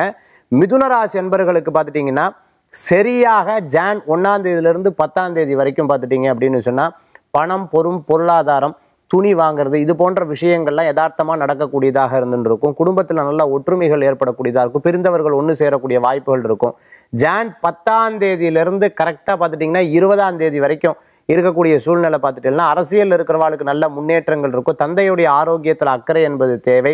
ஒரு படி தொழிலில் முன்னேற்றத்துக்குண்டான வாய்ப்புகள் இருக்கும். அஷ்டம சனி போட்டு என்னை பாடா படுத்தின்னு இருக்க அப்படின்னு வருத்தப்படுற காலத்தில் கூட கொஞ்சம் மாற்றங்கள் ஏற்படக்கூடிய சூழ்நிலைகள் ஏற்படக்கூடியதாக இருந்துருக்கும். ஜான் கரெக்டாக பார்த்துட்டோம்னா இருபதாம் தேதியிலிருந்து சரியாக முப்பதாம் தேதி வரைக்கும் இருக்கக்கூடிய வாய்ப்புகள் எப்படி இருக்கும் அப்படின்னு கேட்டீங்கன்னா ஓரளவுக்கு முன்னேற்றங்கள் ஏற்படக்கூடியதாக இருக்குது இடம் விட்டு இடம் பிரயாணம் பண்ணுவேன் நிச்சயமாக. ஜனவரி முப்பதாம் தேதியிலிருந்து கரெக்டாக பிப்ரவரி பதினாலாம் தேதி வரைக்கும் இருக்கக்கூடிய காலகட்டம் பார்த்துட்டேன் அப்படின்னு சொன்னால் மனசில் லேசாக சங்கடங்கள் அப்பப்போ தோணும். என்னடா சேர்த்து வச்சுருக்கோம்? இப்படிலாம் கஷ்டப்பட்டுருக்கோமே அப்படிங்கிற வருத்தங்கள் இருக்கும். சகோதர சகோதரிகள் கூட இருக்கக்கூடிய இடம் சம்பந்தமான விஷயங்கள் இருக்கிறவங்க அதை பற்றி பேசுவாங்க. இல்லைன்னா நமக்குன்னு ஒரு வீடு வேணும். குருவின்னு இருந்தால் கூட முதல்ல வீட்டை கட்டி தானே மற்றது பண்ணுது. புதிய வீடு வேணும் இல்லை கட்டின்னு இருக்கிற வீட்டை பற்றி பேசுறது. இந்த விஷயங்கள்லாம் சரியாக பதினாலாம் தேதி வரைக்கும் இருக்கும். அதே மாதிரி பிப்ரவரி கடைசி வரைக்கும் இருக்கக்கூடிய சூழ்நிலைகள் பார்த்துட்டல் அப்படின்னு சொன்னால் ஒரு முயற்சி எடுத்து அந்த முயற்சியில் தீவிரமாக இறங்கிறதுக்குண்டான சூழ்நிலைகளை பற்றி யோசிப்பீங்க. கடன் இருக்கிறவங்க கடனை பற்றி சிந்தனை. கடன் தொல்லைகள் இருந்த என்ன பண்ணுறது வீட்டுக்குள்ளே சின்ன சின்ன பிரச்சனைகள் இருக்கிறது. நீங்கள் ஒன்று பேசுறது நான் ஒன்று பேசுறது இந்த மாதிரி வித்தியாசங்கள்லாம் கரெக்டாக ஜனவரி பிப்ரவரி பதினாலிருந்து பிப்ரவரி கடைசி வரைக்கும் இருக்கக்கூடியதாக இருக்கும். மார்ச் ஒன்றாம் தேதியிலிருந்து மார்ச் பதினாலாம் தேதி வரைக்கும் பார்த்துட்டல் அப்படின்னு சொன்னால் எதுக்கெடுத்தாலும் சிரமங்கள். என்ன பண்ணுறதுனே தெரில நான் ஒரு இடத்துக்கு இன்டர்வியூ போகிறேன் அங்கேருந்து ரிட்டர்ன் வருது இங்கேருந்து இது பண்ணுறது இதை இது பண்ணுறது அப்படிங்கிற குழப்பங்கள் இருக்கும். ஆனால் குழப்பங்கள்லேருந்து விடுபடக்கூடாது பார்த்துட்டிங்கன்னா மார்ச் ஃபோர்டீன் ஃபிஃப்டீன்லேருந்து பார்த்துட்டேன்னா மார்ச் தேர்ட்டி வரைக்கும் உங்களுக்கு சில மாற்றங்கள் ஏற்படக்கூடியதாக இருக்கும். இது விட்டு போயிடுச்சுன்னா பரவாயில்ல. அந்த இடம் கிடச்சிருந்துன்னு நேரத்துக்கு நான் சங்கடப்பட்டிருப்பேன். இப்போ பரவாயில்ல நல்ல வேலையாக கிடச்சிதேன்னு சந்தோஷப்படக்கூடிய சூழ்நிலையில் இருக்கும். வேலையில் இருக்கிற சொந்த தொழில் ஆரம்பிக்கிறதுக்குள்ளான வாய்ப்புகள்லாம் வரக்கூடியதாக இருக்கும். ஏப்ரல் மாதம் பார்த்துட்டேல் அப்படின்னு சொன்னால் கரெக்டாக ஒன்றாம் தேதியிலிருந்து பதினாலாம் தேதி வரைக்கும் இருக்கக்கூடிய சூழ்நிலையில் உடல் ஆரோக்கியத்தில் அக்கறை என்பது தேவை. ஏப்ரல் கரெக்டாக பதினாலாம் தேதியிலிருந்து கரெக்டாக முப்பதாம் தேதி வரைக்கும் இருக்கக்கூடிய சூழ்நிலைகள் பார்த்துட்டுனா பொன் பொருள்கள் வாங்குறது வீட்டுக்கு தேவையான விசேஷங்கள்லாம் கொண்டாடுறது சீமந்தம் கல்யாணம் இதை பற்றி எல்லாம் பேசுறதுக்கு உண்டானதா சகோதர சகோதரிக்கு ஏதாவது பொருள் வாங்கி கொடுக்கறது படிப்புக்காக செலவு பண்ணுறது இந்த மாதிரி விஷயங்கள்லாம் கரெக்டாக ஏப்ரல் பதினாலிருந்து முப்பதுக்குள்ளே ஏற்படக்கூடிய சூழ்நிலை இருக்கும் முப்பதாம் தேதியிலிருந்து அதாவது ஒன்றாம் தேதியிலிருந்து மே மாதம் பார்த்துட்டல் அப்படின்னு சொன்னால் அரசியல் ரீதியாக இருக்கிறவங்களுக்கு சில விஷயங்கள்லாம் நான் கரெக்டாக அரசியலுக்காக நான் வேலை செய்கிறேன் இதுக்காக தேர்தலுக்காக வேலை செய்கிறேன் இது போன்ற விஷயங்கள் பற்றியெல்லாம் பேசுறது. அதே சமயத்தில் பார்த்துட்டல் அப்படின்னு சொன்னால் புதிய பொறுப்புகள் கிடைக்கிறதுக்குள்ளான வாய்ப்புகள்லாம் நிறையா இருந்துருக்கு வீட்டில் திட்டிட்டா அவா இப்படி சொல்லிட்டா இவா இப்படி சொல்லிட்டான்னு சில சங்கடங்களும் ஏற்படக்கூடியதாக இருக்குது கரெக்டாக பார்த்துட்டோம்னா மே மாதம் பதினாலுக்கு அப்புறம் ஜூன் மாதம் வரைக்கும் மேலேருந்து பதினாலிருந்து ஜூன் மாதம் வரைக்கும் இருக்கக்கூடிய சூழ்நிலை பார்த்துட்டோம்னா நல்லது கெட்டது ரெண்டுமே ஃபிஃப்டி ஃபிஃப்டி ரெண்டுமே சரிசமமாக இருக்கிறதுக்கு உண்டான வாய்ப்புகள் இருக்குது ஜூன் மாதம் கரெக்டாக பார்த்துட்டோம்னா ஒன்றாம் தேதியிலேருந்து பதினஞ்சாம் தேதி வரைக்கும் பார்த்துட்டோம்னா முதல்ல நிகழ்ச்சி ஒன்று ஃபிக்ஸ் பண்ணியிருப்பேன் பார்த்துட்டோன்னா அந்த நிகழ்ச்சியெல்லாம் நடக்கிறதுக்கு உண்டான சூழ்நிலைகள் ஏற்படக்கூடியதாக இருக்கும். இடம் ரெஜிஸ்ட்ரேஷன் பண்ணுறது விற்கிறது வாங்குறது ரியல் எஸ்டேட் பண்ணுறவாளுக்கு அனுகூல்யம் பிறக்கக்கூடியதாக இருந்துட்டு இருக்கும். சில நேரத்தில் வாகனத்தில் போகும்போது கவனமாக இருக்கக்கூடிய சூழ்நிலைகள்லாம் இருக்கும். இது ஜூன் மாதத்துலேருந்து கரெக்டாக ஃபிஃப்டீன்த்லேருந்து ஜூலை மாதம் வரைக்கும் இருக்கிறது பார்த்துட்டேன்னா கொஞ்சம் மனசுக்கு திருப்தி கொடுக்கக்கூடியதாக இருக்கும். நல்லவா மாதிரி பேசி காசை வாங்கிட்டு போயிட்டாப்பா அப்படின்னு சில சூழ்நிலைகள்லாம் ஏற்படக்கூடியதாக இருந்துட்டு இருக்கும் அடுத்தது பார்த்துட்டேல் அப்படின்னு சொன்னால் ஆகஸ்ட் மாதம் இப்போ நம்ம ஒரு மாதம் ஃபுல்லாக எடுக்க போகிறோம் ஆகஸ்ட் மாதம் பார்த்துட்டேன்னா நல்ல தெல்ல தெளிவான சிந்தனைகள் ஏமாந்தது இனிமேல் ஏமாறப்படாதுங்கிற யோசனைகள் இருந்துட்டு இருக்கும் செப்டம்பர் மாதம் பார்த்துட்டேல் அப்படின்னு சொன்னால் புதிய தொழில் ஒன்று ஆரம்பிக்கணுங்கிற யோசனைகள் இருக்கும். இருப்பினும் நம்ம பெரியவங்ககிட்ட கேட்டுட்டு பண்ணிக்கிறது நல்ல பலன்களாக இருந்துருக்கும் செப்டம்பர் முடிஞ்சிடுத்து அடுத்தது அக்டோபர். அக்டோபர் மாதம் பார்த்துட்டேன் அப்படின்னு சொன்னால் சில விஷயங்கள்லாம் முயற்சி பண்ணுறேன் எனக்கு சக்ஸஸ் ஆனால் நன்னா இருக்குங்கிற எதிர்பார்ப்புகள் இருக்கும். அது நிச்சயமாக நடக்கக்கூடிய சூழ்நிலைகள் ஏற்படுத்தி கொடுக்கலாம். குழந்தை வரம் எதிர்பார்த்த வாழ்க்கெல்லாம் நல்ல சூழ்நிலைகள் வரக்கூடியதாக இருக்கும். நவம்பர் மாதம் பார்த்துட்டேன் அப்படின்னு சொன்னால் நமக்கு எவ்வளோ சம்பாதிச்சாலும் செலவுகள் தான்ப்பா நிறையா இருந்துட்டு இருக்கு அப்படிங்கிற யோசனை. திருப்பி டிசம்பர் மாதம். டிசம்பர் மாதம் பார்த்துட்டேன் அப்படின்னு சொன்னால் ஓரளவுக்கு நன்னா இருந்துருக்கும். இருந்தாலும் உடல் ஆரோக்கியத்தில் அக்கறை என்பது தேவை. ஜனவரி ஒன்றாம் தேதியிலேருந்து அடுத்த வருஷம் ஜனவரி வரைக்கும் நான் பலன் சொல்லிட்டேன். திருப்பி அடுத்த வருஷம் இதே புதியுகத்தை பார்க்கும்பொழுது நம்ம பலன்கள் வந்து நிச்சயம் மிதுனராசி என்பர்களுக்கு சொல்லுவோம். ஆனால் அஷ்டம சனி காலே கஷ்டகாலகன்னு நான் ஏற்கனவே சொல்லியிருக்கேன் சனி பயிற்சியில் அஷ்டம சனியில் ரொம்ப கவனமாக இருக்கணும். ஒரு மனுஷனுக்கு தொழில் ரொம்ப முக்கியங்க. அந்த தொழிலில் அகலக்கால் வைக்காதீங்க. அடுத்தது குடும்பம்ங்கிறது ரொம்ப முக்கியம். குடும்பத்தில் சில சில பிரச்சனைகளை பெருசாக எடுக்காதீங்க. அடுத்து குழந்தைகள் அப்படிங்கிறது ரொம்ப முக்கியம். அவள் கூடவே இருந்து கவனிச்சுக்கிறது ரொம்ப நல்ல பலன்களை கொடுக்கும். கௌரவம் புகழ் அப்படிங்கிறது முக்கியம். அதை விட்டே கொடுத்துடாதீங்க நிச்சயம் நீங்கள் சாதிக்க பிறந்தவங்க. அதனால் கஷ்டங்கள் வரும். ஆனாலும் நீங்கள் ஜெயிக்கிறதுக்குண்டான வாய்ப்புகள் இருக்குது சனி பகவானை மட்டும் பிரார்த்தனை பண்ணுறது ஐயப்ப சுவாமியை வேண்டிக்கிறது நிச்சயம் நல்ல பலன்களை கொடுக்கும். இது மிதுன ராசி அன்பர்களுக்கு. கடல் அலை மாதிரி மிதுன ராசியின் அன்- அன்பர்களின் வாழ்க்கை வந்து ஏற்ற இறக்கத்தோடு போகும். ஆனாலும் போராடித்தான் பார்க்கணும் அப்படின்னு தெளிவான விளக்கம் கொடுத்தீங்க. ஐயா நீங்க சொல்லுங்க. அடுத்ததாக கடக ராசிக்கு இரண்டாயிரத்தி இருபத்தி ஓராம் வருடம் என்னெல்லாம் செய்ய போகுது? அம்மா இந்த கடக ராசிக்கு ஒவ்வொரு ராசி எடுக்கிற போது அதில் இந்த மூன்று நட்சத்திரங்கள் வருது பார்த்தீங்களா? கடகராசியில் இருக்கக்கூடிய புனர்பூச நட்சத்திரம் குரு பகவானுடைய நட்சத்திரம். பூச நட்சத்திரம் சனி பகவானுடைய நட்சத்திரம். அதே மாதிரி ஆயிலியம் புதன் பகவானுடைய நட்சத்திரம். இந்த நட்சத்திர நாதர்கள் ராசியை பார்க்கிறாங்க அப்படிங்கிறது மிக முக்கியமானது. இந்த பயிற்சியின் போது இந்த புத்தாண்டு பிறக்கிற போது நம்ம தெரிந்து கொள்ள வேண்டியது. அப்போ இந்த ராசி வலிமை பெறக்கூடிய ஒரு நல்ல அமைப்பு தென்படுகிறது. இந்த ஆண்டு இந்த நீங்க ஒரு விஷயம் சொன்னீங்க. குபேரனுடைய நட்சத்திரம் என்று நான் குறிப்பிட்டதை சொன்னீங்க. குபேரனுடைய நட்சத்திரத்திலே இந்த ராசி அமைப்பிலே இந்த ஆண்டு பிறக்கிறது. செல்வ வளம் வந்தால் மகிழ்ச்சியாக இருக்கும் என்றுதான் நான் சொன்னேன். ஏனென்றால் தனகாரகன் குரு பகவானும் பார்க்கிறார் கடகராசியை. அப்போ தனவளம் வருமே அப்படி ஒரு நம்பிக்கை. ஆனால் இந்த ஆண்டு எப்படின்னா மிக்சட் ரிசல்ட்டாக தான் கடகராசிக்கு இருக்குது பொதுவாக குரு பகவான் ஒரு ராசியை பார்க்கிறார் என்று சொன்னால் அது ரொம்ப நல்ல விஷயம். ஆனால் இதில் எப்படி ஆகுதுன்னா இந்த குரு பகவான் தான் இந்த ஜாதகத்தை பொறுத்தவரை இந்த கடகராசிக்காரர்களுக்கு ரோகஸ்தானாதிபதி குரு பகவான். அந்த ரோகஸ்தானாதிபதி ராசியை பார்க்கிறார். பொதுவாகவே இந்த ஆண்டுடைய பயிற்சி பலன்களை நீங்கள் பார்க்கிற போது கன்னியா லக்கணத்திற்கு ரோகஸ்தானாதிபதியாக இருக்கக்கூடிய சனி பகவான். அந்த சனி பகவானுடைய ஆதிக்கம் அதிகமுடைய ஆண்டு. அதே மாதிரி அஷ்டமாதிபதியாக இருக்கக்கூடிய செவ்வாய் பகவான் அவர் வீரியமாக வந்திருக்கிறார் அப்படி இருக்கிற போது இந்த ஆண்டு ரத்தம் சம்பந்தமான புதிய வியாதிகள் வருமோ வேறு சிக்கல்கள் வருமோ வியாதிகள் தோன்றுமோ என்ற ஒரு அச்சம் நிலவும். அப்படிப்பட்ட ஒரு சூழல் இருக்கு. புதிய வியாதிகள் வர வராது என்று யாரும் மறுக்க முடியாது. அப்படிப்பட்ட சூழலில் இந்த கடகராசிக்கு குரு பகவானுடைய பார்வை ஒரு பக்கம் நம்பிக்கை ஊட்டினாலும் இன்னொரு பக்கம் உடல் நலத்திலே நாம் அக்கறை எடுத்துக்கொள்ள வேண்டும் என்று காட்டுகிறது. அதே போல ஏழாம் இடத்திற்கு அதிபதியாகவும் அட்டமாதிபதியாகவும் இருக்கக்கூடிய சனி பகவானுடைய பார்வையும் இவர்கள் மீது விழுகிறது. ஆகவே உடல் நலத்திலே பொதுவாக கடகராசிக்காரர்கள் மட்டுமல்ல அனைத்து ராசிக்காரர்களுமே இந்த ஆண்டு அக்கறை எடுத்துக்கொள்ள வேண்டியது மிக அவசியம். ஹெல்த் இன்சூரன்ஸ் கூட எடுத்து வச்சுக்கிடணும். இன்னொரு புறம் பார்த்தீங்கன்னா கடல் கடந்து வேலைகள் எனக்கு வேணும். வெளிநாட்டில் வேலை வேணும் கேட்குறவங்களுக்கு நல்ல வெளிநாட்டு வேலைகள் கிடைக்கும். உள்நாட்டிலையும் நல்ல வேலை வாய்ப்பு கிடைக்கும். பொருளாதார பற்றாக்குறை. கடன் வாங்கியாவது ஓரளவுக்கு நம்ம நடத்த முடியும். ஒரு பேங்க் லோன் கிடைக்கும். அப்படிங்கிற மாதிரி வசதிகள் இந்த ஆண்டு இவர்களுக்கு உண்டு. செவ்வாய் பகவான் இவர்களுக்கு பத்தாம் இடத்தில் இருப்பதனால நல்ல ஒரு வேலை வாய்ப்பு கிடைக்க போகிறது. ஸ்திர வேலை இவர்களுக்கு கிடைக்கக்கூடிய வாய்ப்பு இருக்கிறது. அலைந்து திரிந்து தொழில் செய்யக்கூடியவர்களுக்கும் நல்ல முன்னேற்றம் இருக்கும். அதே போல புதிதாக வீடு மனை வாகனங்கள் வாங்கக்கூடிய யோகம் இவர்களுக்கு உண்டாகிறது. எப்படி இருந்தாலும் பதினோராம் இடத்திலே ராகு இருப்பது மிகப்பெரிய பலம். ஐந்தாம் இடத்திலே கேது பகவான் இவர்களுக்கு அமர்ந்திருக்கிறார். அதனால் தெய்வ வழிபாடு அதிகமாக செய்ய வேண்டும். குறிப்பாக விநாயக பெருமான் வழிபாடு செய்வது பெண்களுக்கு மிகச்சிறந்த பாதுகாப்பை உருவாக்கி தரும் இந்த ஆண்டு என்று நம்புகிறேன். ஐந்தாம் இடத்தில் கேதுவும் சுக்கரனும் இணைந்திருக்கிறார்கள். பெண்கள் தங்களுடைய சுய விவரங்களை சமூக வலைத்தளங்களிலே பதிவிடுகிற போது மிகுந்த எச்சரிக்கையாக கடகராசிக்காரர்களுக்கு இருக்கணும். அதே போல இந்த ஆண்டு காவல்துறையை சேர்ந்தவர்கள் அரசியல்வாதிகள் அரசு அதிகாரிகள் தங்கள் பணிகளிலே மிக நேர்மையாக நடந்து கொள்ள வேண்டும். இல்லாவிட்டால் சில சோதனைகள் இவர்கள் சந்திக்க வேண்டி வரலாம். பொருளாதார ரீதியாக எப்படியும் குடும்பத்தை நடத்துவதற்கு ஓரளவுக்கு வருமானம் வருதுனாலே ஒரு மகிழ்ச்சியான விஷயம். கணவன் மனைவி பிரிந்திருந்தவர்கள் இணைவதற்கு வாய்ப்பு கிடைக்கிறது.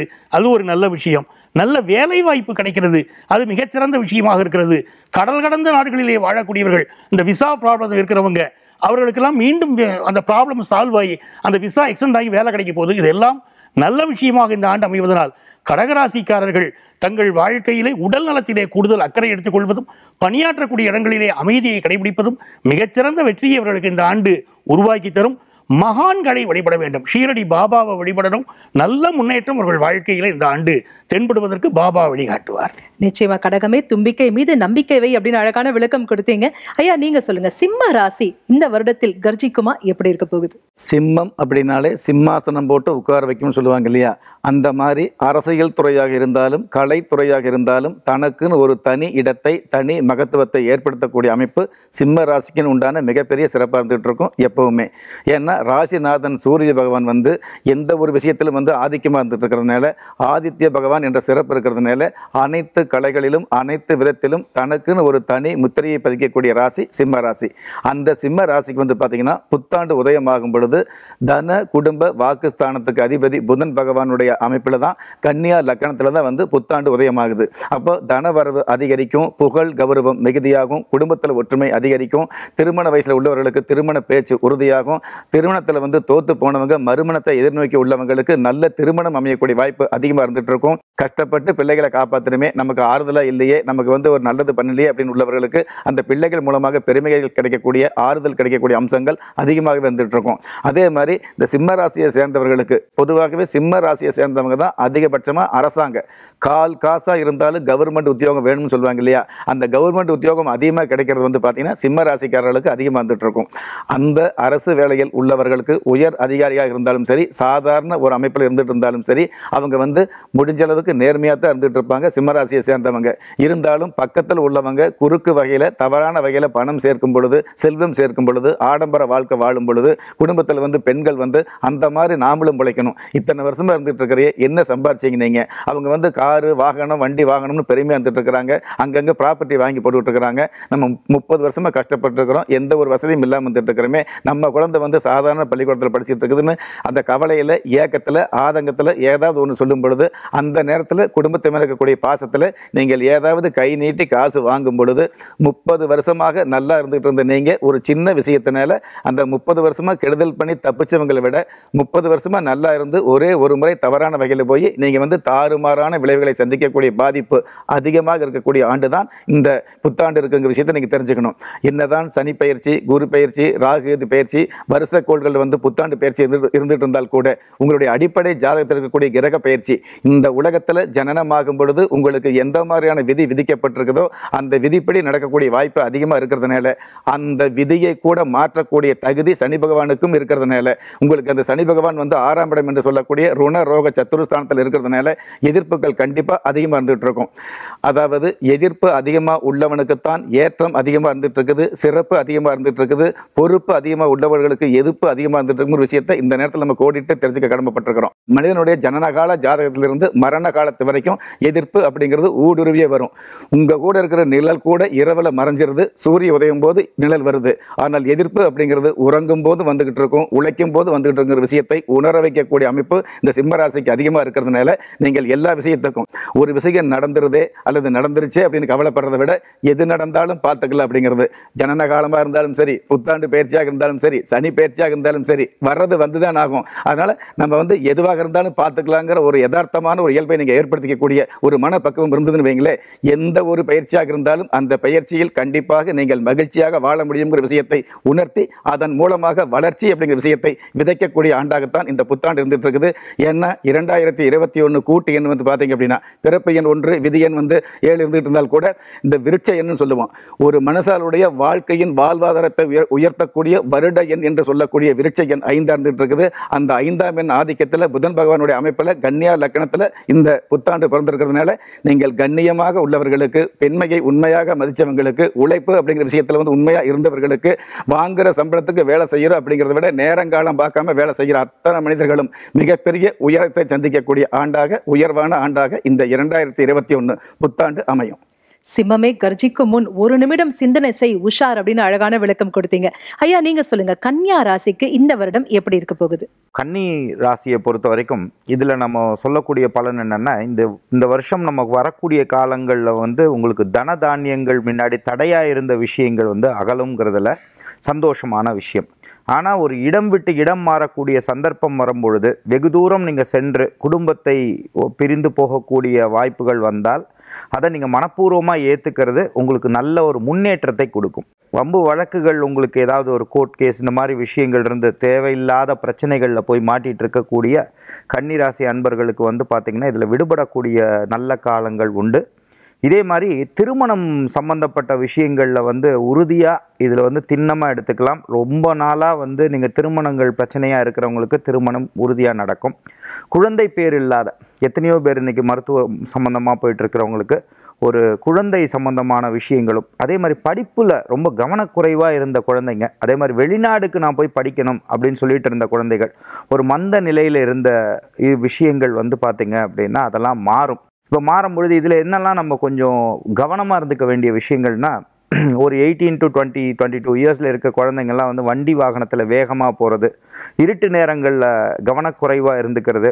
இந்த மாதிரி விஷயங்கள்லாம் கவனக்குறைவோடு இருக்கிறவங்களுக்கு வந்து சில ஹாஸ்பிட்டலுக்கு சேரக்கூடிய யோ யோகங்களும் உண்டு. இது யோகம்னு சொல்கிறேன்னு நினைக்காதீங்க. ஜாதகத்தில் அப்படி தான் சொல்லப்படுது. அந்த மாதிரி இருக்கிறதுனால ஒரு சில விஷயங்களில் கவனக்குறைவாக இல்லாமல் இருக்கிறது. ஒரு வீசாவே கிடச்சா அதை கவனக்குறைவு இல்லாமல் அதில் என்ன பிரிண்ட் பண்ணியிருக்குங்கிறத பார்த்துக்கிறது கவனக்குறைவு இல்லாமல் இருந்துக்கிறது. அதே போல் உங்களுக்கு தொழிலில் வந்து பார்த்திங்கன்னா யாராவது ஒருத்தர் சொல்கிறாரு அப்படின்றதுக்காக அடுத்தவங்களுக்கு போய் ஜாமீன் போட்டு பணம் வாங்கி கொடுக்கறது. இந்த மாதிரி விஷயங்கள் பண்ணால் உங்களுக்கு பிரச்சனைகள் உறுதியாக வரும். அதே மாதிரி யாரையாவது எதிர்க்கணும்னு முடிவு பண்ணால் நேருக்கு நேராக எதிர்க்கிறது நல்லது. ஒரு மூணாவது மனிதருக்கு பின்னாடி இருந்து பண்ணக்கூடிய விஷயங்கள் பண்ணும் பொழுது உங்கள் ராகு கேது சஞ்சாரங்கள் படி பார்க்கும் பொழுது சில நேரங்களில் ஒரு சில குழப்பங்கள் உங்களுக்கு வரும். மொத்தத்தில் வந்து பெரியவர்களாக இருக்கிறவங்க அதாவது ஒரு ஐம்பது வயசுக்கு மேலே உள்ளவங்களுக்கு வந்து பார்த்தீங்க அப்படின்னா முன்னாடி இருந்த காலங்களில் நீங்கள் புண்ணிய பலன்கள் செய்திருந்தால் கண்டிப்பாக உங்கள் குழந்தைகளுக்கு அது வந்து நீங்கள் கண் முன்னாடி பார்ப்பீர்கள். ஸோ இந்த மாதிரி விஷயங்கள் இருக்குது இல்லை நீங்கள் தீய விஷயங்கள் செஞ்சுருந்தீங்க.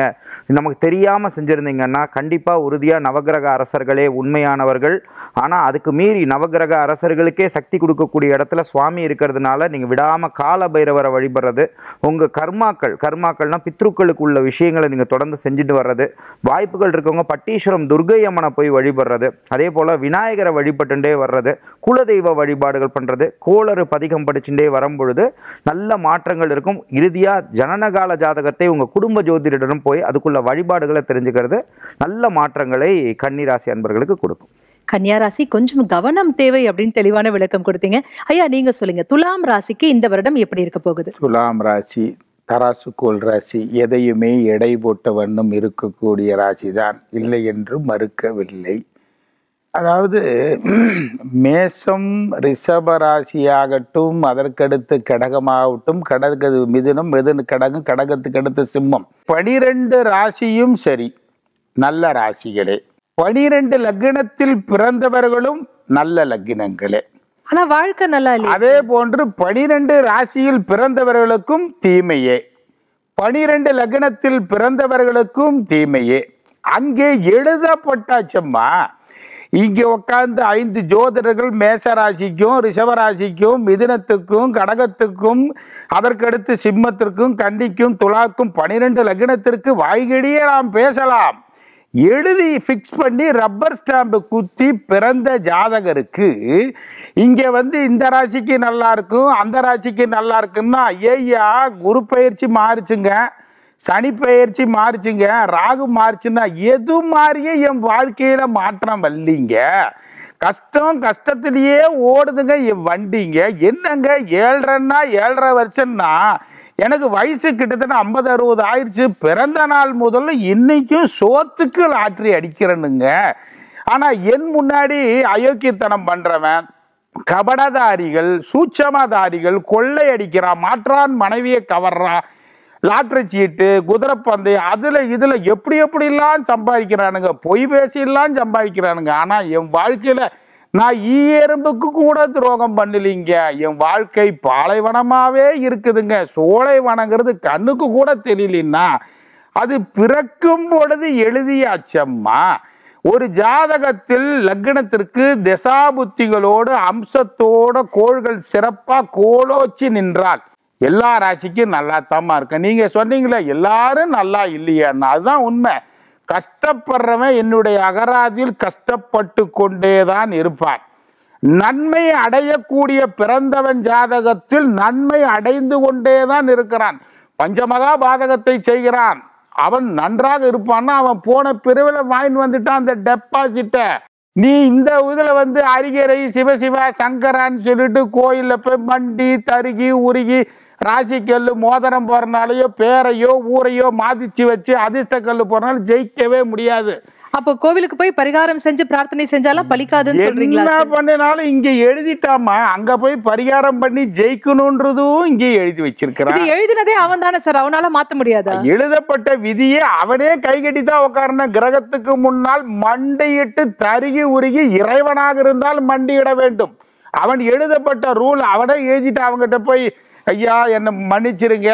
சிவசிவா சங்கரானா விட்டுருவானம்மா அதுதானம்மா பிறக்கும் பொழுது இருபத்தி ஏழு நட்சத்திரங்கள் வாயிலாகத்தான் தசாபுத்தியினுடைய அடித்தளத்தில் நாம் பிறக்கிறோம். அப்போ துலா ராசிக்காரர்களுக்கு சரி ஏழரை முடிஞ்சு போச்சுங்க. போன இதில் வந்து முயற்சி மூன்றாம் இடத்துல இருந்து துலா என்ன முடிஞ்சு எத்தனை பேர் உயர்ந்துட்டான்னு நினைக்கிறீங்க? ரெண்டரை வருஷம் இருந்தது இல்லையா அந்த சனி? வாய்கடியே நம்ம பேசுகிறோம் இருபத்தாறாம் தேதி பயிற்சின்னு. என்னையா ஏழரை முடிஞ்சும் ஏழரையாவே இருக்குதுன்னு எத்தனை பேர் கேட்குறான் இந்த குரு பயிற்சி நாலாம் இடத்துல வந்து பயிற்சி கஷ்டங்கிறான். எனக்கு கஷ்டமாகவே இருக்கான் ஆனால் உயர்றவன் உயர்ந்துக்கிட்டே இருப்பாம்மா.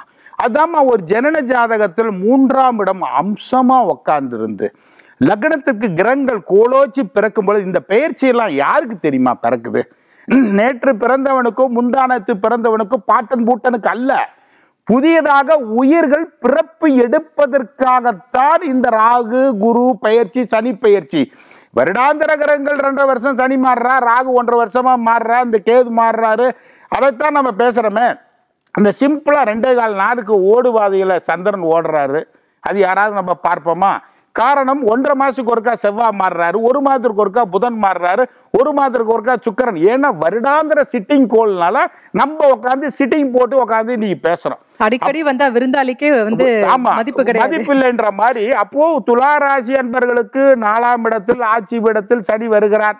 சுகஸ்தானத்திற்கு பஞ்சமாதிபதி சுகாதிபதி கேந்திரத்துக்கு அதிபதி நாலாம் இடத்தில் வரவேற்கத்தக்க சூழல் தான் எடை போட்ட வண்ணம் இருப்பவர்களுக்கு அது சிறப்பு தான் சுப நிகழ்ச்சிகள் மங்களகரமான காரியங்கள் நடக்கும். வீடு நிலம் புலங்கள் வாங்கக்கூடிய அம்சங்கள் எத்தனை கொடுத்தாலும் ஜனன ஜாதகத்தில் சிறப்பான உயர்வான அம்சம் இந்த துலா ராசிக்காரர்களுக்கு இருந்தால் பனிரெண்டு ராசிக்காரர்களுக்கும் இதே சங்கமம் தான் சரிங்கய்யா இப்போ மகேஷ் சார் நீங்க சொல்லுங்க. இப்ப ஐயா சொன்னாரு ஜனனகால ஜாதகம் தான் பேசும். இந்த அப்பப்போ வர இந்த பயிற்சியெல்லாம் வந்து சும்மா இலையில் பரிகம் பரிமாறப்பட்ட ஊறுகாய் தான் அதெல்லாம் ஒப்புக்கு தான் அப்படின்னு சொல்றாரு. ஜாதகம் தான் பேசுமா? இல்ல கோள்கள் பேசுமா? எந்த பயிற்சியெல்லாம் நாங்க எந்த அளவுக்கு எடுத்துக்கலாம்? நீங்க சொல்லுங்க. கீழே விழுந்தோம்னா முதல்ல கிரகப்பேரவா சொல்லுவோம். அம்மா அப்பான்னு சொல்லுவோம். கடைசியில் இறைவனை தான் சொல்லுவோம். எல்லாரும் இறைவனை தான் சொல்கிறோம் இன்னைக்கு கிரகங்கள் பற்றி தெரியாதவங்க கூட இன்னைக்கு பார்த்துட்டீங்கன்னா நிறைய பேர் கேட்குறது யூஎஸில் யூகேயில் அஸ்ட்ராலஜியை பற்றி நிறைய தெரிய போகிறதானே பெருசாக தெரிய போகிறதில்ல கொஞ்சம் அதை ஃபாலோ பண்ணுறது பெருசாக தெரிய போகிறதில்ல அவங்க என்ன சொல்கிறாங்கன்னா கடவுளை பற்றி தான் பேசின்னு இருக்காங்க.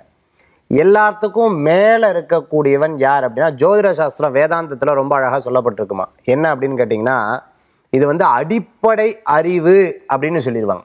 இது வந்து அடிப்படை அறிவு. அதாவது ஸ்ரீ வித்யா அதாவது வித்யா பாடம்னு ஒன்று இருக்குது முதல்ல அதை தெரிஞ்சுக்கணும். வித்யா பாடம்ங்கிற ஒரு பாடங்கள் வந்து நம்ம தெரிஞ்சுக்கணும். என்ன அப்படின்னு கேட்டிங்கன்னா இது வந்து அடிப்படை அறிவு. இதுக்கு மேலே யார் உன்னதமான அறிவு அப்படின்னு கேட்டுட்டோம்னா ஆரம்பிக்கும் போதே சரஸ்வதி நமஸ்துப்யம் வரத ஏகாம ரூபிணி வித்யா ஆரம்பம் கரிஷ்யாமி சித்தியத் பௌதமே சத பகவானே இந்த பாடத்தை நான் ஒழுங்காக படிக்கணும். எனக்கு அந்த அனுக்கிரகத்தை நீ கொடு அப்படின்னு சொல்கிறான் மனுஷனா பிறந்தோம் அப்படின்னு சொன்னால் ஒன்பது இடத்துல ஒன்பது கிரகங்கள் அண்ணா சொன்ன மாதிரி இருக்கக்கூடிய பாவங்கள் தான் இருக்குது ஆனால் இதற்கெல்லாம் மேலாக நீங்க பார்த்துட்டீங்கன்னா பஸ்ல எல்லாரும் அடிபட்டிருப்பா. பத்து பேர் அடிபடாம இருப்பா. அடிபட்டிருந்தா எல்லாத்துக்கும் ஒரே கிரகங்கள் தானே வேலை செஞ்சிருக்கணும். ஆக்சிடென்ட் ஒரு கிரகம் தானே. ஆனா அங்கதான் இப்ப சார் சொன்ன மாதிரி அந்த தனி நபருடைய ஜனனகால ஜாதகம் பேசுது இல்லைங்களா?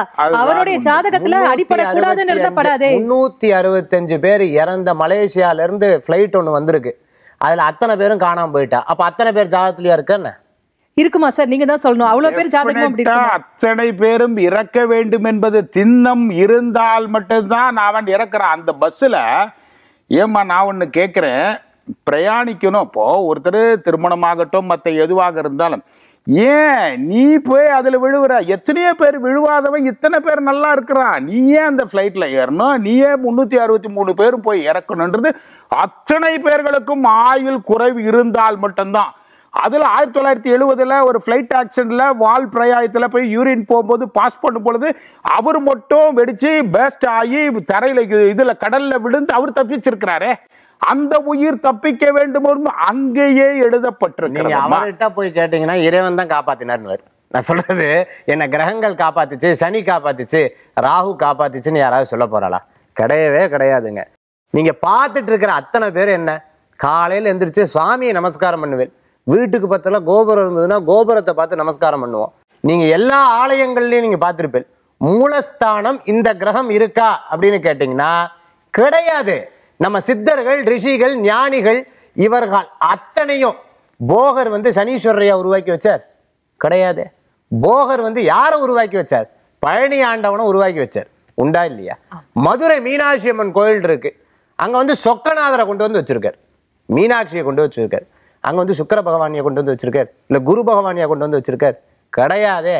என்னடா அது நீங்கள் ஜோசியரா இருந்துட்டு இதை சொல்றேல சார். ஜோதிடத்துக்கு மேலே வேதாந்தம் இருக்கு. வேதம் இருக்கு. ஆகமம் இருக்கு. நவ கிரகங்களை பிரதிஷ்டை பண்றது கூட அதிதேவதா பிரத்யதி தேவதா சகிதாயன் வா அண்ணா கரெக்டாக தெரியும் அது. அதிதேவதா பிரத்யதி தேவதா சகிதாய பகவந்தம். யாரு?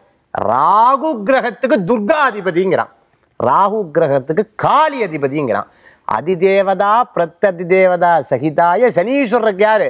மகாவிஷ்ணுவை போய் சொல்கிறார் ஆகப்பட்ட சனீஸ்வரர் தான் விநாயகர் பெருமானை பிடிக்க முடிஞ்சுதா? பிடிக்க முடியலையே. அப்போது இதில் என்ன சொல்கிறது அப்படிங்கிறத தெரிஞ்சுட்டா எல்லாத்துக்கும் மேலே இறைவன் இருக்கிறான். அந்த இறைவனை மனதார பிரார்த்தனை பண்ணினோம்னா நிச்சயமாக அது காப்பாற்றப்படுகிறதுங்கிறதுல சந்தேகமே கிடையாது. நீங்கள் பிரசவம் பார்க்கறதுக்கு பெண்கள் போகிறத நீங்கள் பார்த்துருப்பேன் கடைசியில் முடிஞ்சதுக்கப்புறம் பா ரொம்ப கிரிட்டிக்கலாக இருக்குது ராகு தான் உங்களை காப்பாற்ற போகிறாருன்னு சொல்லுவாரா? டாக்டர். கேது தாங்க உங்களை காப்பாற்ற போகிறோன்னு சொல்லுவாரா? அவர் அஸ்ட்ராலஜி வச்சுருப்பார் அவர் ஜாதகம் வச்சுருப்பார். யார் காப்பாற்றுறான்னு சொல்லுவார்?